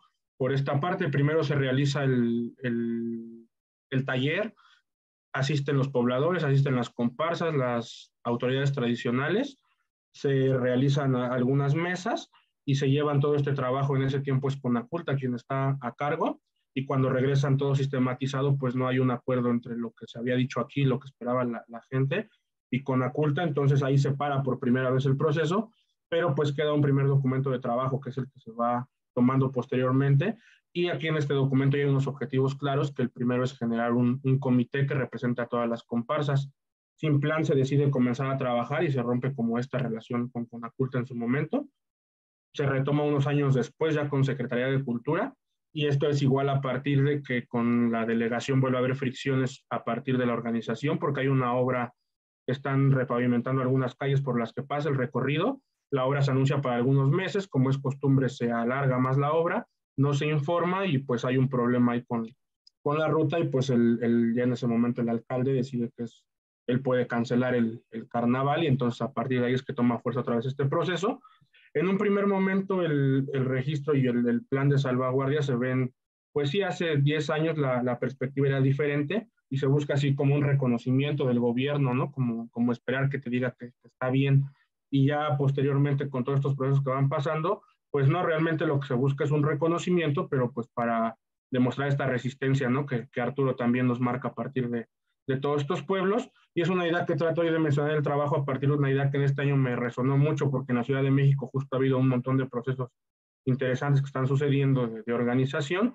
Y la doctora Marta Olivares en algún momento dice que siempre se habla de los pueblos originarios de la Ciudad de México, cuando todos están antes de la fundación de la ciudad, ¿no? Entonces que hay que retomar y hablar de los pueblos originarios en la ciudad, ¿no? Y que cohabitan con la ciudad desde mucho tiempo antes y que son parte fundamental de, de su historia. Entonces, a partir de este momento, pues ya toma como un enfoque diferente y ya no se busca como realmente el documento que, que se firme o en las listas de UNESCO, ni mucho menos, sino buscar estos mecanismos que te permitan en, en momentos como esta fricción con el alcalde, tener mecanismos que permitan decir, pues, cómo defendernos, ¿no? A partir de, de toda esta situación y pues igual justo con estos cambios en las administraciones de que era Conaculta, Secretaría de Cultura, ahora es la Ciudad de México, ahora es la Alcaldía Tláhuac, ya no es la delegación, pues a partir de todas estas, estas situaciones es que en, aquí en el curso buscamos como volver a conceptualizar todo lo que pasa, ¿no? Y ahora está la ley de pueblos y barrios originarios, en un momento cuando este proceso empieza no está, ¿no?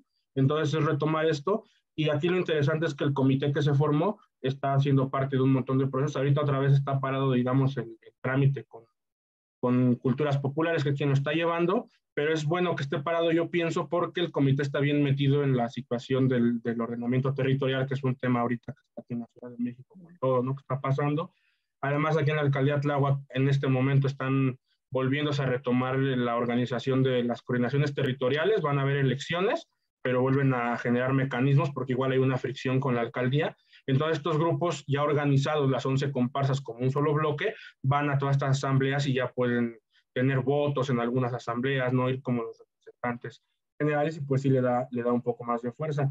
Todos estos documentos básicamente lo que usamos son documentos de trabajo y, y de estudio, ¿no? Que se les comparten a, a todos los integrantes de, de, las mesas directivas porque además cabe resaltar que el, el primer apartado bueno, del comité se habla de que el, el comité es, es un representante de las comparsas pero cada comparsa sigue siendo completamente autónoma, ¿no? Que se tomen decisiones igual, alguna comparsa vota en contra y el, el, anuncio sale y se respeta la decisión de la... Por ejemplo, ahorita en la pandemia, justo que sucedió, también están porque ya este año regresa el carnaval después de tres años sin realización y pues igual durante la pandemia cada quien tomó sus propias decisiones, aunque los anuncios se hacían por parte del comité. Entonces aquí lo que hicimos básicamente en el, en el curso fue poder volver a contextualizar toda esta esta situación jurídica y, y, de ordenamiento territorial, geográfico que sucedió en estos casi 10 años desde que empezó el proceso, para poder tener un, un marco de referencia de acción, ¿no? porque pues básicamente aquí lo interesante y por lo que empezamos es que más que un proceso teórico, primero es práctico, ¿no? Se empieza y dice, si en el documento vamos a hacer el comité y cumplimos el primer objetivo, aunque el plan no esté y no lo firme nadie, ¿no? O sea, nosotros lo estamos reconociendo como pueblo y eso es lo que me pareció bien interesante y que ahora pues a partir de este comité pues sí como que permea otras organizaciones y ha habido ya más, más comunicación, ¿no? Que es importante además ahorita por esta cuestión de, del ordenamiento territorial principalmente, ¿no? Porque había mucho, mucha separación y ahora se nota, se nota comunión entre los pueblos internamente y ya después por, por la parte en general hablo de Tláhuac, Xochimilco, Milpalta, ¿no? Que es un proceso interesante que se está llevando a cabo por acá. Y pues ya, eso sería todo de mi parte. Gracias. Muchísimas gracias, Oscar. Eh, antes de mis comentarios, le vamos a dar la voz a Emma Zárate, que quiere uh, hablar sobre el trabajo eh, que presentó Marco. Adelante, por favor.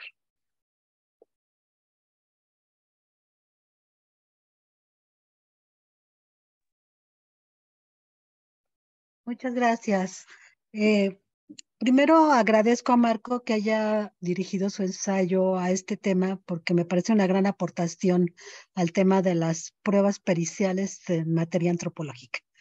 Después quiero hacer dos comentarios. Primero, considero que es muy amplio el tema del peritaje que propuso, no sé si fue el juez o el demandante, porque no permite ligarlo al asunto de la falta de documentos de identidad o de actas de nacimiento de función.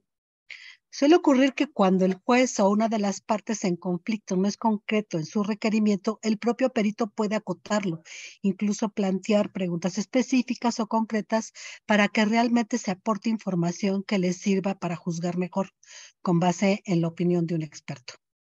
A lo largo del texto no encontré hallazgos que permitan establecer que los siriames eh, tienen jurisdicción o funciones para levantar actas de nacimiento o de función. Sin embargo, sí encontré datos que muestran que los gobernadores son testigos o incluso dirigen rituales vinculados, por lo menos, con ceremonias mortuorias. La duda se refiere a esa sugerencia de que la autoridad Raramuri debe tener capacidad de fiduciario para poder expedir y registrar las actas de defunción o nacimiento. Entiendo que un acto fiduciario hace referencia a una persona que administra el dinero o bienes ajenos. Esto, ¿cómo lo vinculas con la capacidad de, registrar y expedir actas de nacimiento o defunción como autoridad indígena? Es todo. Muchas gracias. Gracias. Eh, Marco, ¿quiere, ¿quieres contestar?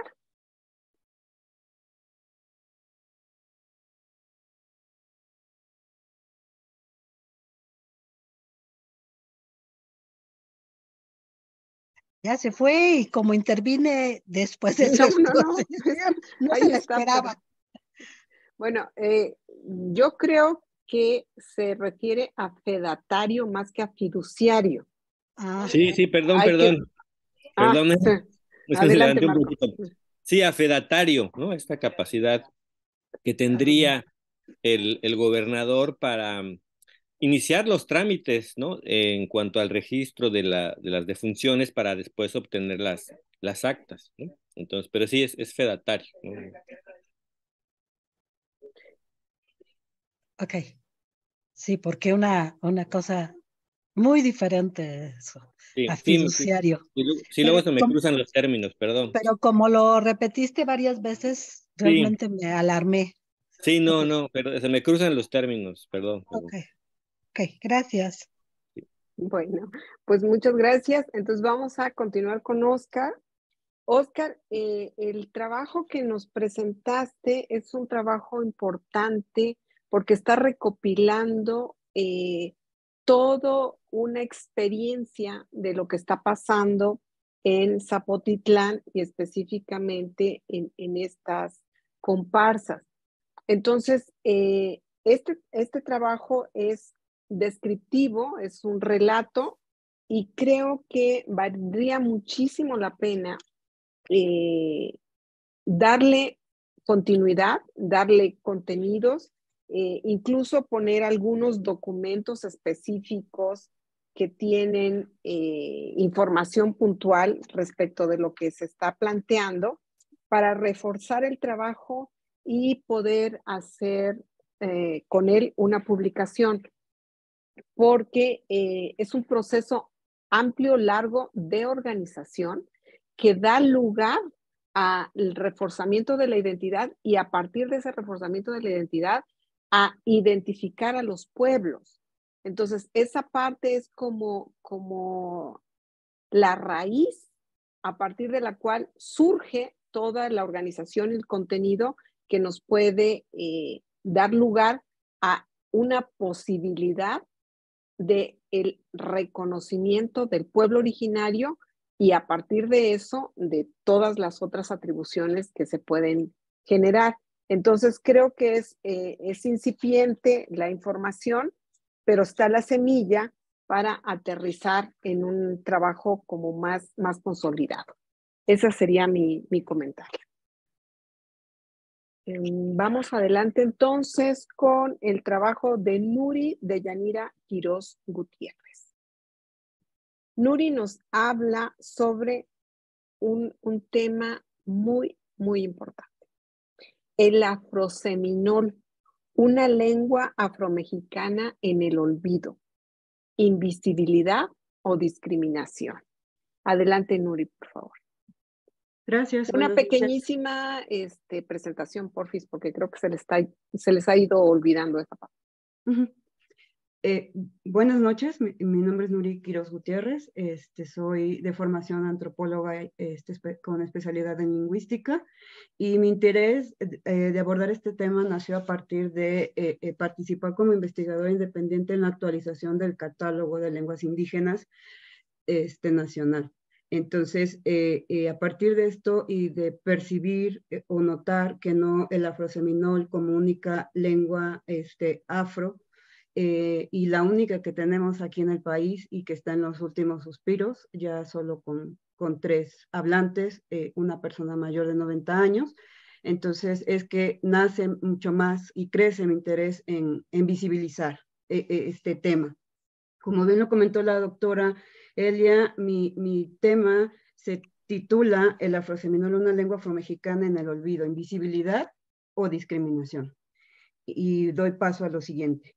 Pues en este trabajo quiero reflexionar sobre la situación legal y dónde estaría ubicada la única lengua de un pueblo afrodescendiente, el afroseminol, hablada por los mascogos en, la, en el estado de Coahuila, que aún no se incluye en el catálogo de las lenguas indígenas nacionales elaborado por el INALI en 2008. Algunas preguntas que guían esta reflexión son, ¿tiene derechos eh, lingüísticos o no? Eh, como no está incluida en dicho catálogo, eh, cuáles son los compromisos que el Estado puede asumir en torno a ella. Y bueno, este trabajo este, lo, lo componen eh, los siguientes apartados. El primero es la breve historia del arribo de los mascogos al territorio nacional. El segundo, la falta de inclusión en las políticas lingüísticas nacionales de la lengua afroseminol. El tercero, invisibilidad o discriminación. Y por último, este, las, em, las conclusiones. Inicio con la breve historia del arribo eh, de los mascogos al territorio nacional. Los mascogos son un pueblo afrodescendiente cuyos antepasados llegaron al territorio mexicano en la década de los 50 del siglo XIX. Salieron huyendo en la primera mitad del siglo XIX del estado de la Florida hacia el territorio mexicano. Los afroseminoles, los seminoles y los quicapúes establecieron un tratado con el gobierno mexicano a cambio de tierras con el objetivo de establecer puestos de defensa en la frontera contra los invasores tejanos apaches. Eh, esta es la breve historia que doy en el primer apartado. Apartado 2. La falta de inclusión en las políticas lingüísticas nacionales de la lengua afroseminol. Y aquí abordó dos temas que son los marcos legales nacionales y los marcos legales internacionales. Inicio con los marcos legales. A pesar de los avances sólidos en el reconocimiento de la comunidad mascoga como un pueblo mexicano, su lengua aún está lejos de incluirse en las políticas lingüísticas actuales. Por ejemplo, en el 2012, la CDI lo reconoció como pueblo afrodescendiente. En el 2017, el gobernador Rubén Moreira decretó el reconocimiento de los negros mascogos como un grupo étnico de Coahuila. Y eh, como sabemos, en, el, en agosto del 2019 se dio la adición del apartado C al artículo segundo de la Constitución Política de los Estados Unidos Mexicanos, en el que se les reconoce a las personas, pueblos y comunidades afromexicanas como parte de la composición pluricultural de esta nación. Como resultado de esta adición, me interesa resaltar su repercusión en la fracción cuarta del apartado A, del artículo segundo en el que, se, en el que dice lo siguiente, eh, preservar y enriquecer sus lenguas, conocimientos y todos los elementos que constituyan su cultura e identidad. Previo a este reconocimiento constitucional de los pueblos y comunidades afromexicanas, un hecho legal que tiene una repercusión importante a favor de las lenguas indígenas y esto debería redundar en las demás lenguas como el afroseminol es que, fruto de la reforma del 2001 al artículo segundo de la Constitución Política de los Estados Unidos Mexicanos, se, mexicanos, perdón, se publicó en 2003 la Ley General de los Derechos Lingüísticos de los Pueblos Indígenas, la cual dice lo siguiente, Cuando se dice que el español y las lenguas indígenas son lenguas nacionales, se debe asumir que tanto el español como las lenguas indígenas tienen la misma validez para cualquier asunto o trámite de carácter público o privado, así como para el proceso a la gestión, servicios e información pública.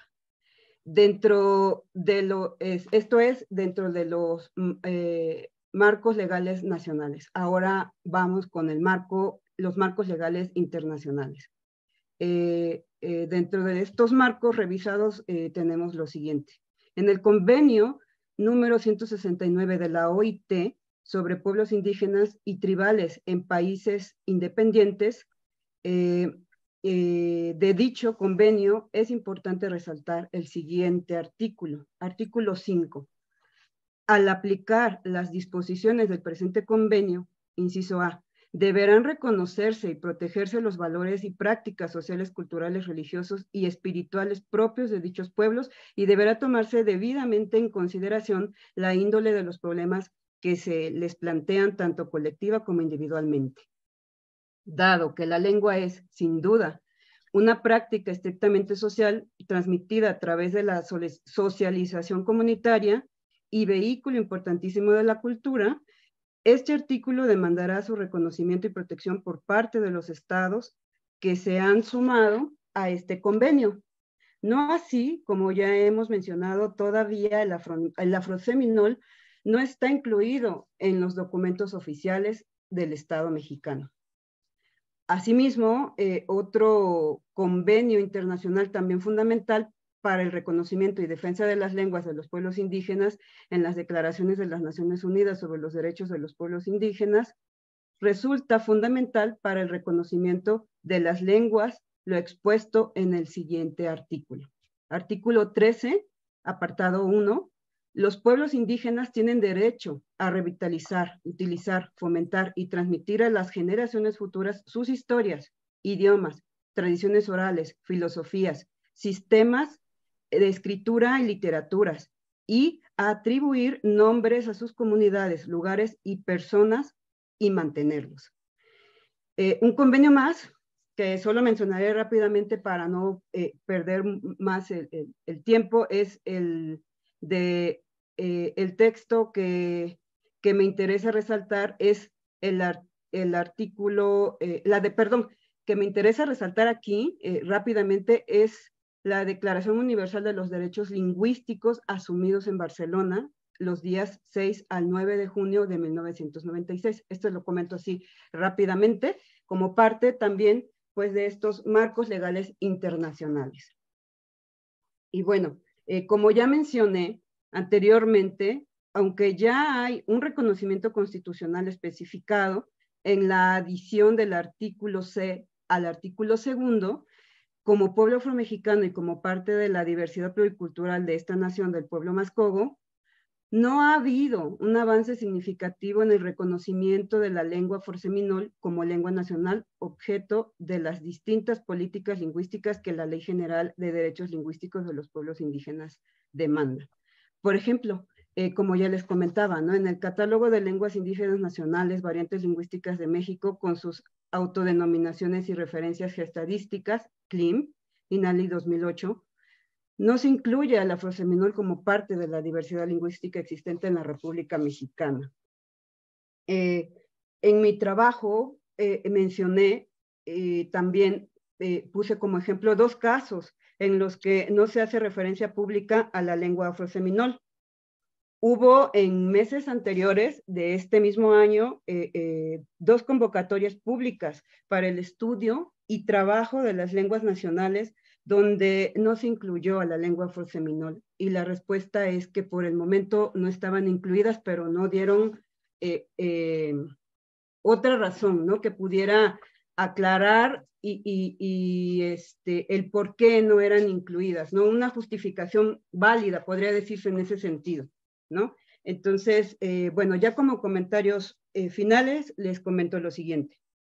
¿Cuál debe ser el primer paso para que la lengua y la cultura afroseminol pueda participar en alguna de las convocatorias con las que, como las que hemos visto?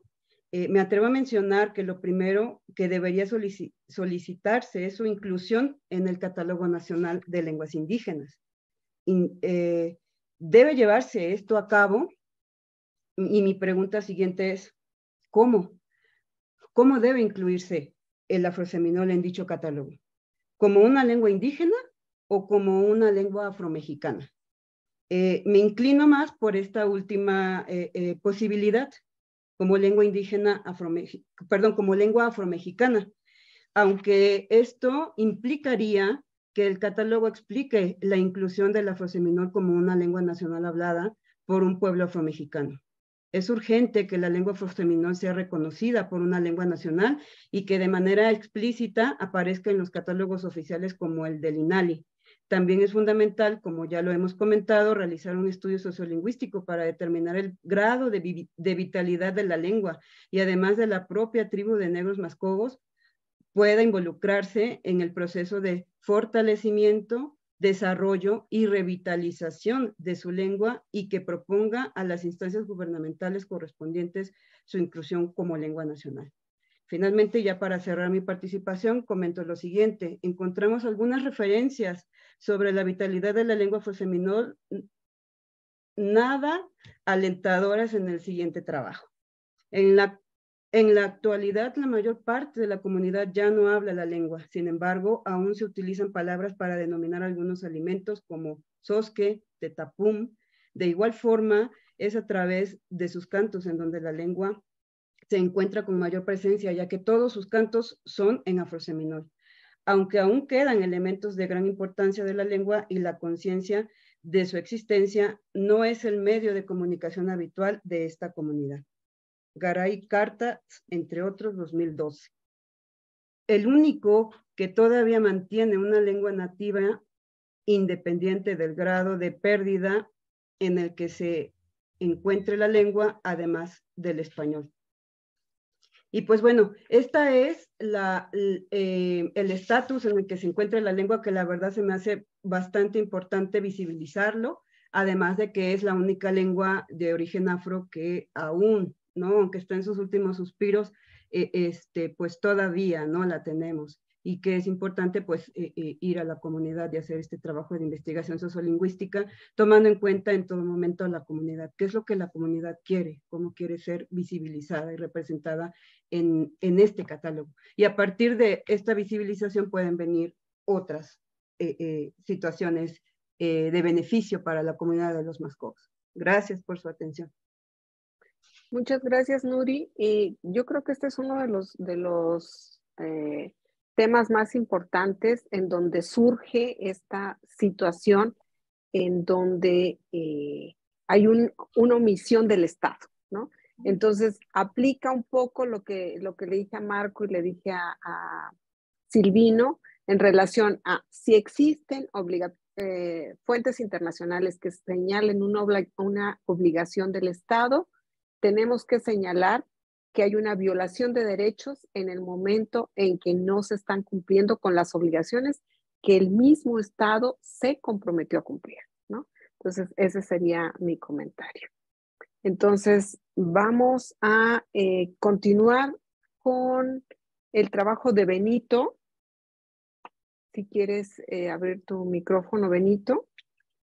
Eh, Benito nos habla sobre el impacto ambiental y las afectaciones a los derechos de los pueblos indígenas en su evaluación.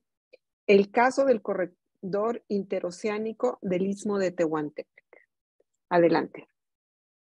Gracias, doctora. Pues eh, también aquí agradecer el espacio y las intervenciones que hasta ahora pues, han sido bastante interesantes.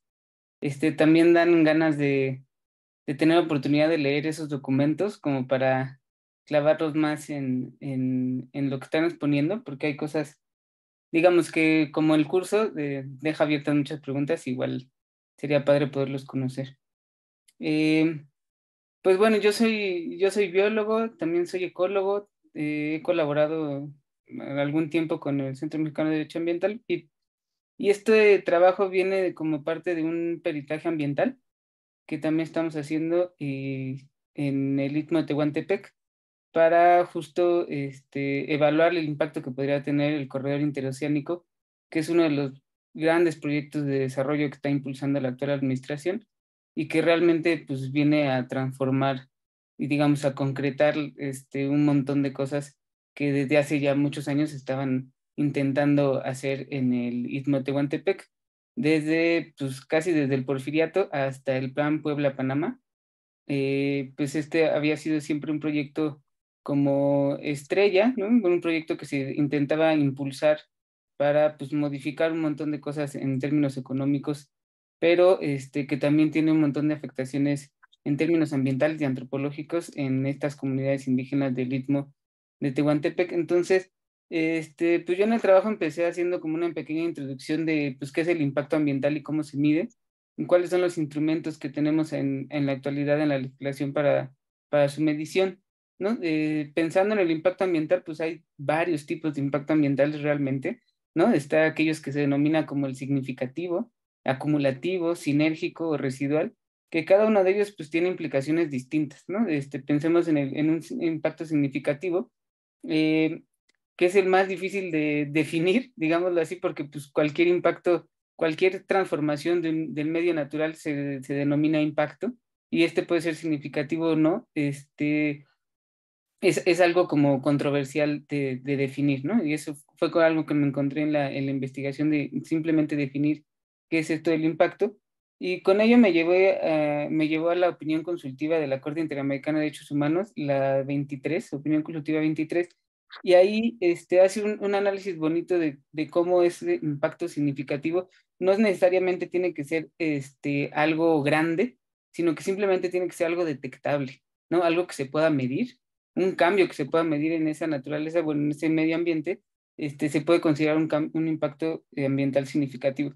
Sin embargo, lo que más me pareció relevante de, ese, de esa inclusión, ¿no? de esa definición de impacto significativo, fue que también hace referencia a todo, a todo aquello que puede impactar ese cambio en el medio ambiente, como eh, la salud de las personas, la calidad del agua o la provisión de agua, eh, derechos de propiedad que pueden ser violentados y este, la producción agrícola que se puede ver reducida por estos impactos ambientales. ¿no?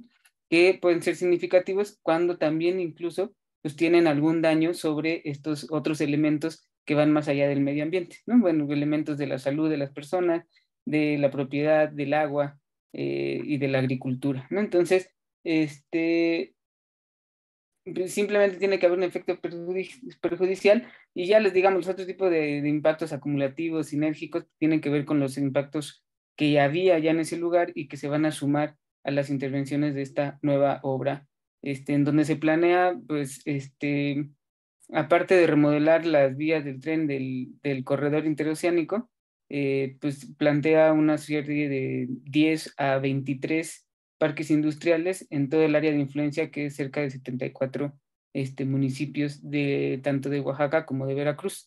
Aparte de los 10 que están proyectando, los 10 parques industriales que digamos es conocido por la opinión pública, hay otros 15 que este, están dentro del proyecto y que realmente están como lejanos a las vías del tren, pero que van a tener un impacto bien importante sobre el territorio. Eh, después de eso me fui rápidamente a ver cómo se evalúa con las manifestaciones de impacto ambiental.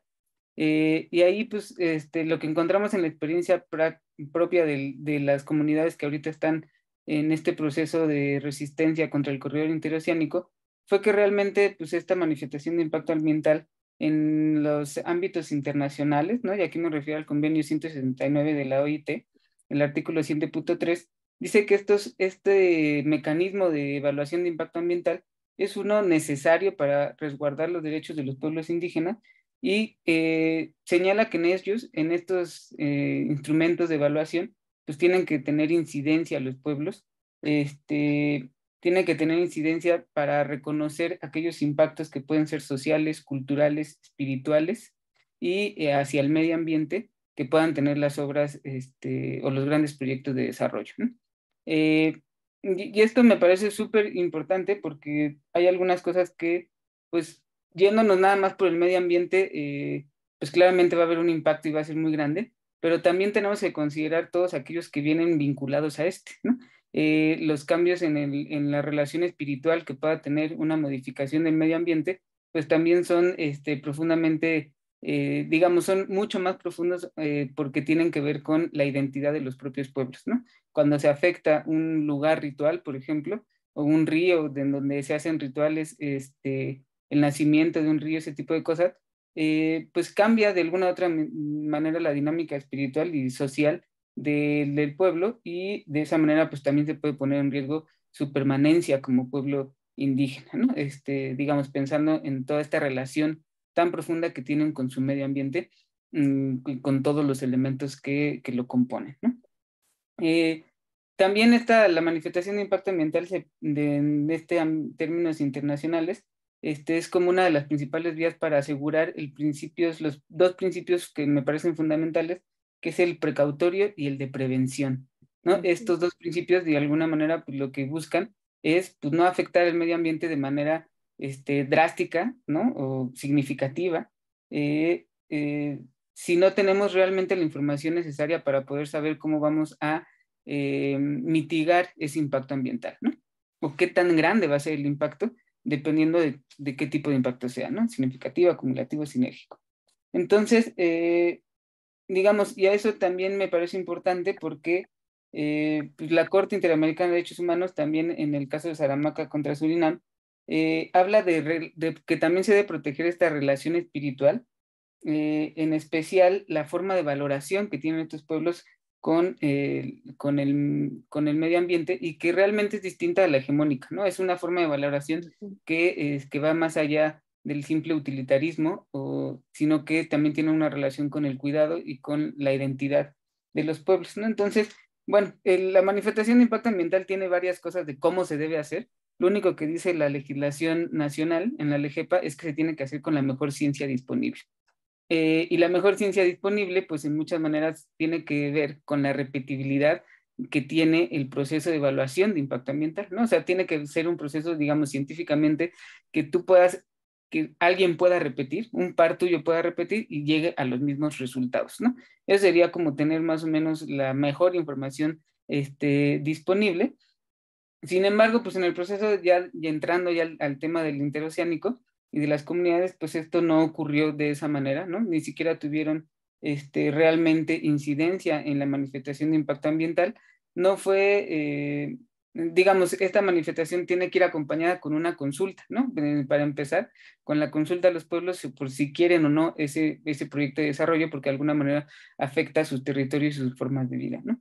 Entonces, esta consulta pues realmente nunca ocurrió como con los estándares internacionales, no se hizo con las personas este, digamos, directamente afectadas, utilizaron localidades muy lejanas, en muy poco tiempo se cumplieron, en un día se cumplieron las tres etapas de la consulta, y, este, y pues bueno, realmente lo que podríamos decir ahí es que no hubo consulta, tampoco se buscó el consentimiento de las personas, ¿no? De, hecho, no fue previa, ya había muchas licitaciones avanzadas este, desde antes de la consulta misma, entonces pues, no fue previa, no se buscó el consentimiento. Eh, digamos, hubo ahí algunas cuestiones en las que eh, no hubo participación de los pueblos realmente en esta, en esta evaluación, digo, perdón, en, la consulta, y ni tampoco participaron en la evaluación de impacto ambiental, ¿no? Que en esta, en esta mía. Otra cosa que, me, es importante es que en esta mía, algunas cosas que, que se alegan es que pues es realmente una mía fragmentada, ¿no? Este, no se está considerando toda la extensión del proyecto, que son pues, del, del puerto de Coatzacoalcos hasta Salina Cruz, ¿no? Y solamente hay una mía que tiene una pequeña fracción del recorrido del tren, en donde pues ni siquiera está hecho con la mejor ciencia disponible, no hay forma de repetirlo porque no están los elementos dados en la manifestación. El, el sistema ambiental regional, que es lo que se utiliza para medir el impacto ambiental, pues está mal calculado, no está este, debidamente justificada esa, esa, esa relación.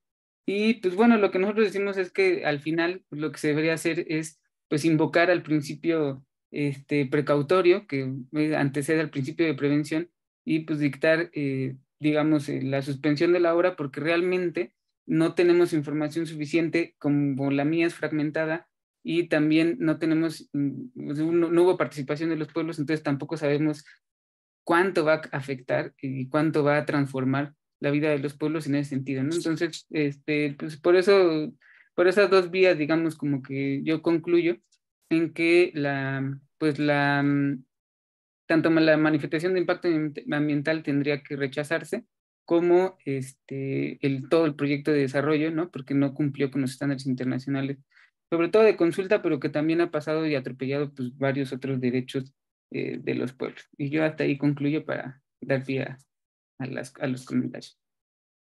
Muchísimas gracias, Benito. En este caso es sumamente interesante porque eh, bueno, Benito se restringió directamente a las cuestiones de impacto ambiental en relación a la consulta, pero denotan la violación de muchos otros derechos, ¿no? Directamente el derecho a la libre determinación y autonomía de las comunidades y, mm, pues, por supuesto que el derecho a la consulta y el consentimiento previo libre e informado. En este esquema, eh, esta situación del impacto significativo ha tenido ya varias Em, objeciones eh, por parte de los, las y los académicos por la manera en cómo ha sido considerada desde México en la Suprema Corte de Justicia de la Nación. Si tienes oportunidad de leer un texto de Rodrigo Gutiérrez sobre el amparo 499, eh, tiene una referencia específica que tiene relación con lo que implica el impacto significativo, pero este, de mis comentarios creo que eh, sería más o menos lo mismo eh, que, eh, hice en relación al, trabajo de, de, Silvino y de Marco, en relación, y de Nuri también, en relación a este esquema de no se cumplen los compromisos internacionales, los estándares internacionales de derechos humanos, que son norma suprema en nuestro país porque forman parte del bloque de constitucionalidad. Le damos la palabra a la doctora Alma para que nos diga sus comentarios. Bueno, el trabajo de, Benito lo, he apreciado mucho y creo que tiene algo que, que me parece muy valioso y que ojalá y se anime a publicar también su trabajo, porque muchas veces en las discusiones de investigadores en ciencias sociales no tenemos todos la información clara, la capacidad de comprender qué significa una mía.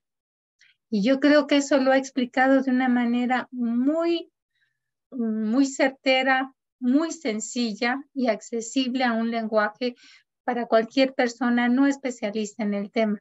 Esa es una virtud que, que se construye, no, no es un regalo, entonces la aprecio mucho y sí lo, le invito a él como a muchos otros compañeros que, que han expuesto y compañeras a que publiquen sus trabajos, ¿no? Es, eh, no solo por la importancia del trabajo académico, que sí es, digo, es nuestro quehacer cotidiano en la UNAM, pero también hay otras revistas que si no fuesen para ustedes el interés una revista científica, hay muchas revistas de divulgación. Entonces, creo que es muy importante que publiquen. Están abordando temas que nos eh, tocan a, la sociedad y han hecho un súper, súper esfuerzo, cada uno en sus diferentes posiciones, conformaciones.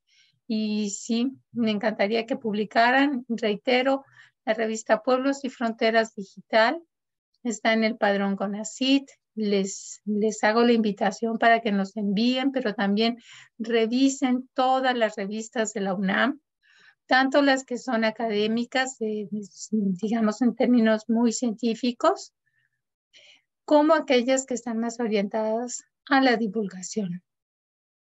Gracias. Muchísimas gracias. Este, vamos entonces al siguiente trabajo de Miriam Guadalupe García Alvarado. Se llama Los pueblos indígenas y la suplencia de la queja. Ineficacia en garantizar el acceso a la justicia. Adelante, Miriam. Hola, buenas noches a todos. Muchas gracias, doctora. Intentaré, intentaré ser breve para, bueno, poder este, concluir en tiempo y forma. Efectivamente, la razón de por qué yo decidí hablar justamente sobre la suplencia de la queja es porque en el artículo 79 de la ley de amparo, donde están establecidas diversas consideraciones o, o pues supuestos, mejor dicho, bajo los cuales podría aplicarse la suplencia de la queja, no se tiene contemplada en ninguna de las ocho fracciones la suplencia de la queja específicamente para casos donde inciden personas que son o se autoadscriben como miembros de algún pueblo o comunidad indígena o se consideran como afromexicanos.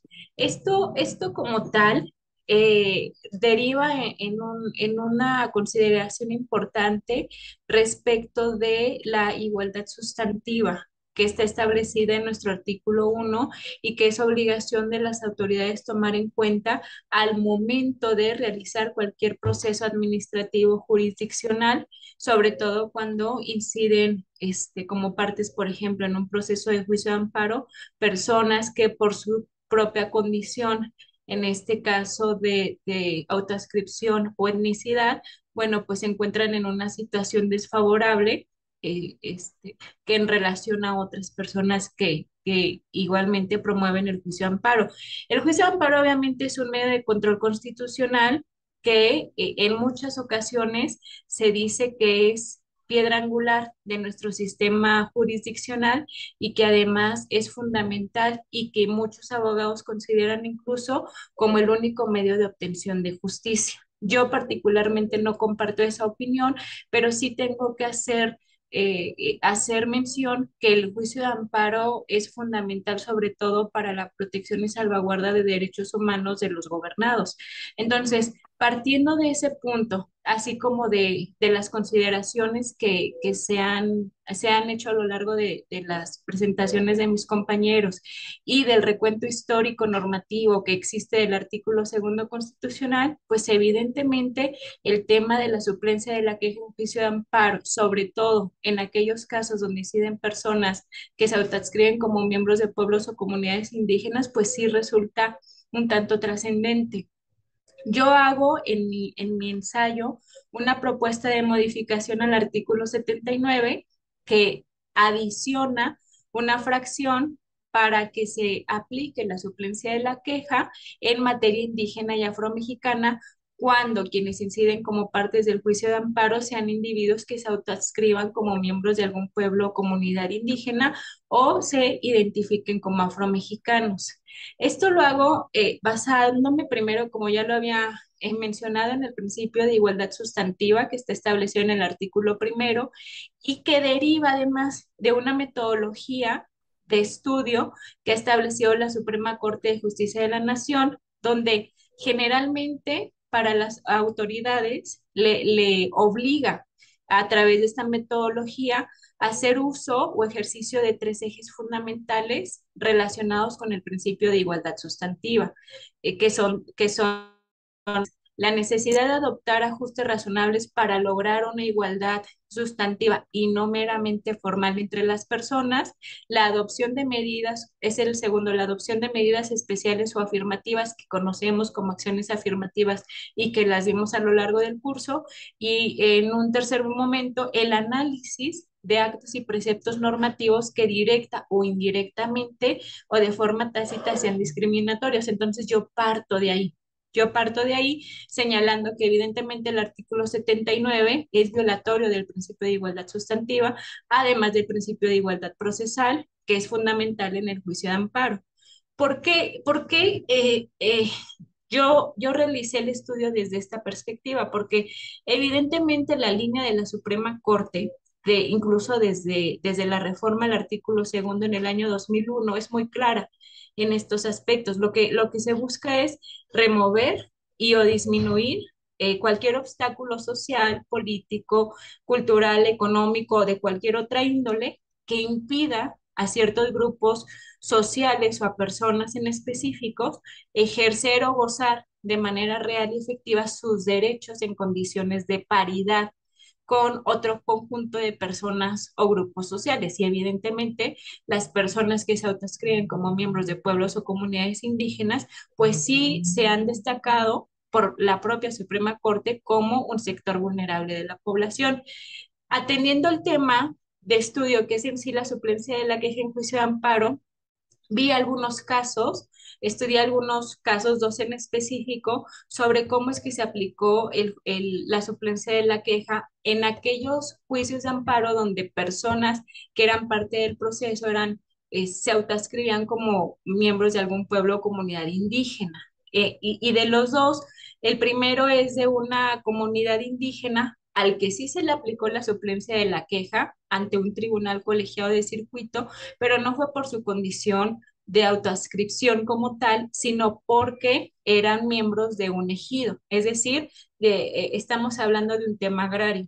Y un segundo supuesto, un segundo caso fue el de una persona indígena Mazahua que en su momento, cuando quiso cuando promovió el juicio de amparo y quiso acreditar su calidad o su autoascripción como miembro del, pueblo Mazahua, le dijeron en, el juzgado de distrito que evidentemente el documento con el que pretendía acreditar esa calidad pues no era suficiente y no se le aplicó la suplencia de la queja deficiente y evidentemente más adelante la Suprema Corte estudió el asunto y hasta ese momento fue cuando la Suprema Corte determinó que de forma oficiosa debía este, aplicarse la suplencia de la queja. Pero estas cuestiones ambas, tanto la aplicación en derecho este, en, en temas agrarios como el asunto de que la autoridad que en este caso en específico fue un juez de distrito, no sabía si se aplicaba o no aplicaba de forma oficiosa la suplencia de la queja, deriva del hecho de que en el artículo 79 no hay una fracción en específico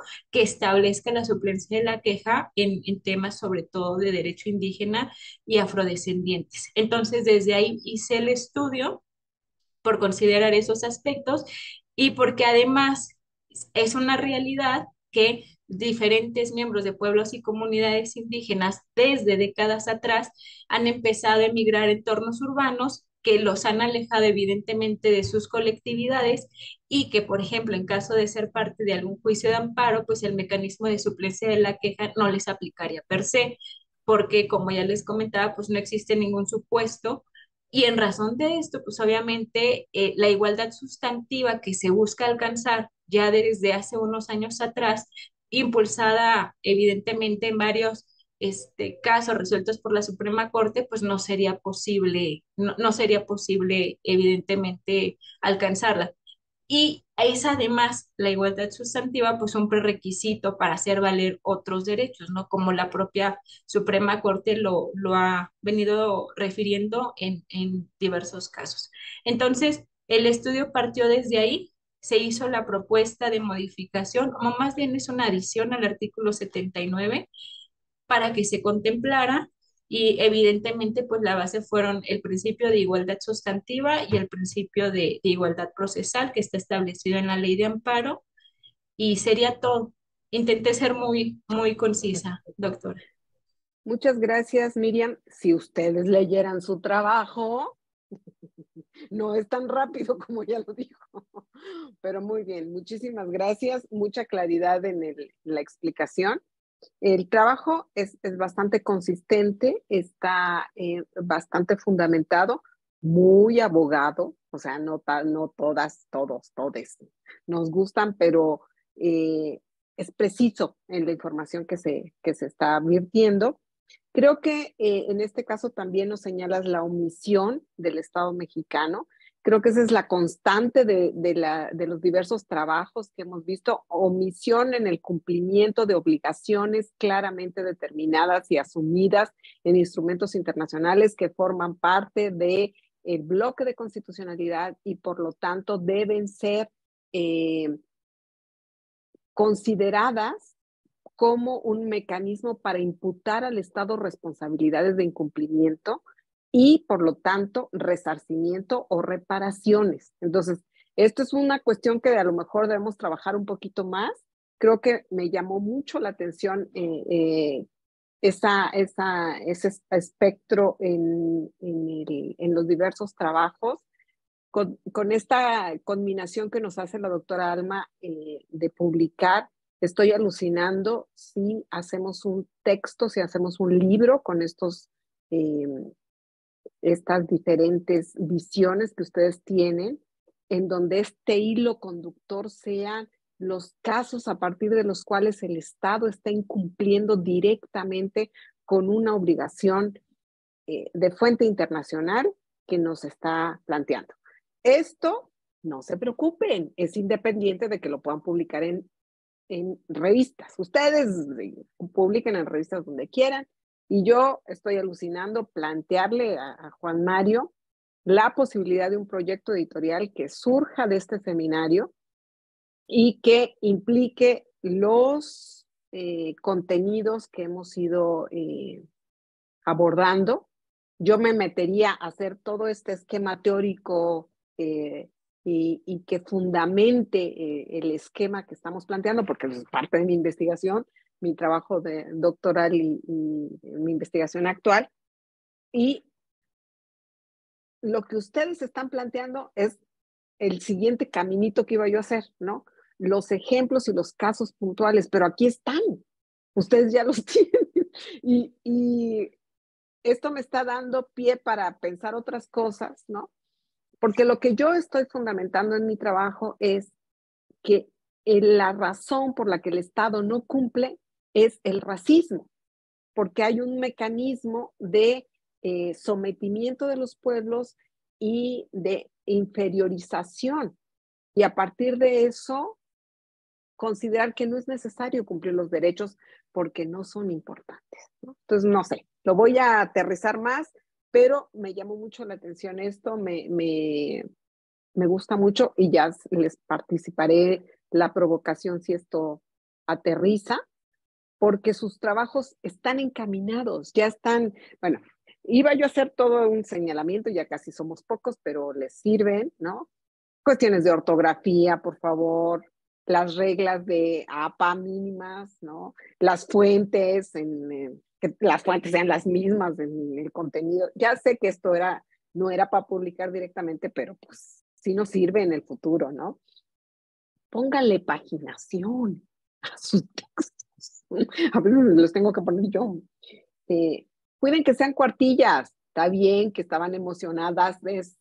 emocionados, ¿no? Y me pusieron chorrocientas cuartillas, está bien, me encantó, pero bueno, cuando vayan a hacer un trabajo formal y les digan 20, son 20, ¿no? Aquí me pusieron muy bien, gustó muy bien. Algunos empezaron en la página 20 con su, ya con el tema que van a tratar, pero está muy bien. Este, sus fuentes, cuiden mucho sus fuentes, por favor, y que esas fuentes tengan las referencias reales. ¿no? encontré errorcitos que parecen mínimos, pero un texto que no se publicó en el año que dice que se publicó demerita el trabajo, ¿no? Ahí los editores lo votan, ¿no? Y bueno, ya, ya, además de eso, los errores de dedo y los espacios, ¿no? Yo sé que andaban a la carrera y ya querían entregar, pero esas son las versiones que yo tengo. Espero que si hacemos una publicación conjunta, pues ya todo esto esté más bonito. Y si es así, le voy a pedir a, Juan Mario cuáles son los lineamientos editoriales y se los paso para que quienes se atrevan y aterricen sus trabajos que están muy bien. Es decir, ya tienen la idea, ya tienen la metodología, ya tienen los contenidos, entonces nada más es la pulidita para que los aterricemos. Y ahí Alma María y yo nos ponemos de coordinadoras y les arreglamos la plana y los hacemos posibles. ¿Les parece? Bueno, vamos a escuchar a Arturo para ir cerrando. Adelante.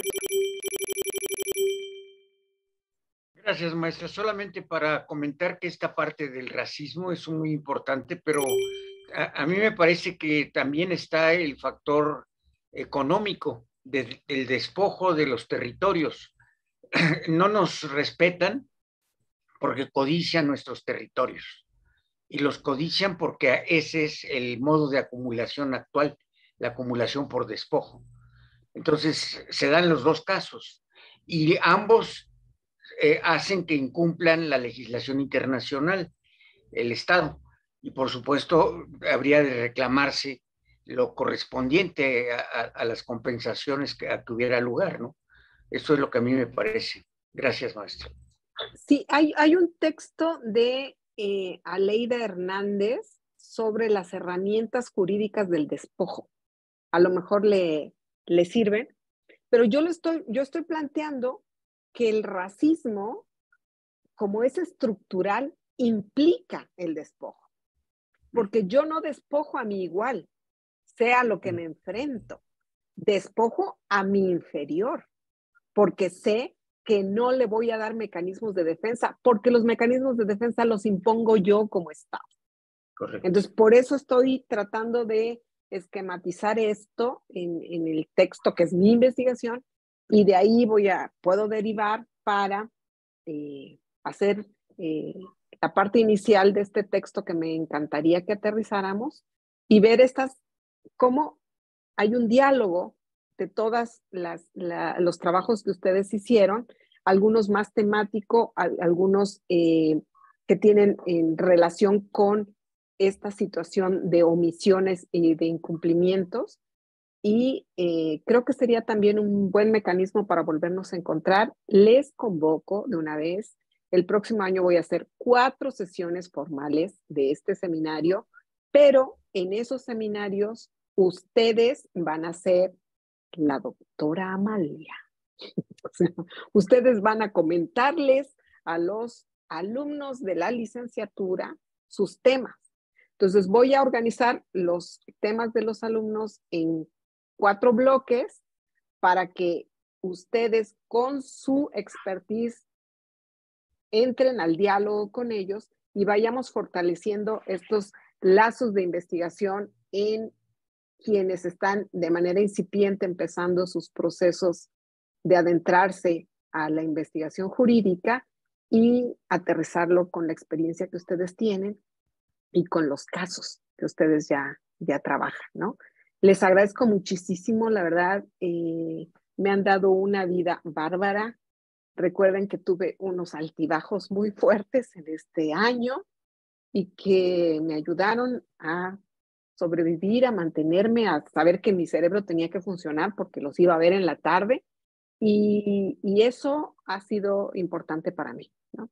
Entonces, quiero agradecérselos muchísimo, quiero seguirles viendo en la vida, aunque sea en pantallita. Alguna vez tal vez podremos vernos en, en persona, pero este, fueron un reto para mí, fueron una oportunidad de, de trabajo que abrió la doctora Alma Malia en el CIMSUR, que me permitió aterrizar varias cosas con el trabajo que yo hago en el PUIC y la conjunción de estas dos instituciones dieron la posibilidad de encontrarnos, de conocernos, de eh, intercambiar estas experiencias y yo les agradezco muchísimo, muchísimo esta oportunidad que me dieron y esperemos seguirnos viendo en la vida. Si no tienen más que decir, no sé si Alma quiere decir algo, ya podemos ir cerrando. Pues yo simplemente agradezco a todos este espacio, a todas, la verdad eh, ha sido un espacio de aprendizaje con, pues sí, todos lo hemos, todos y todas lo hemos dicho y, seguramente nos vamos a seguir encontrando.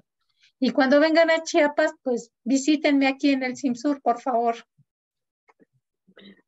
Claro que sí, muchísimas gracias, pues muy buena noche. Ya les llegarán sus constancias por correo electrónico y este, les, enviaré las próximas invitaciones para eh, las siguientes sesiones. ¿Okay?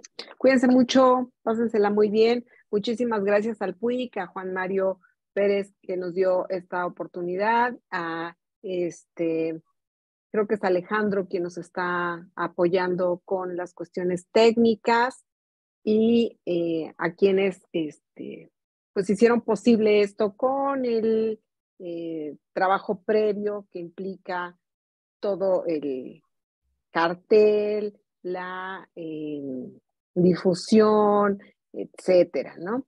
Alfonso es el que está a cargo de la, de la transmisión. Muchísimas gracias, Alfonso, y muchísimas gracias a todas, todos, todos. Cuídense mucho.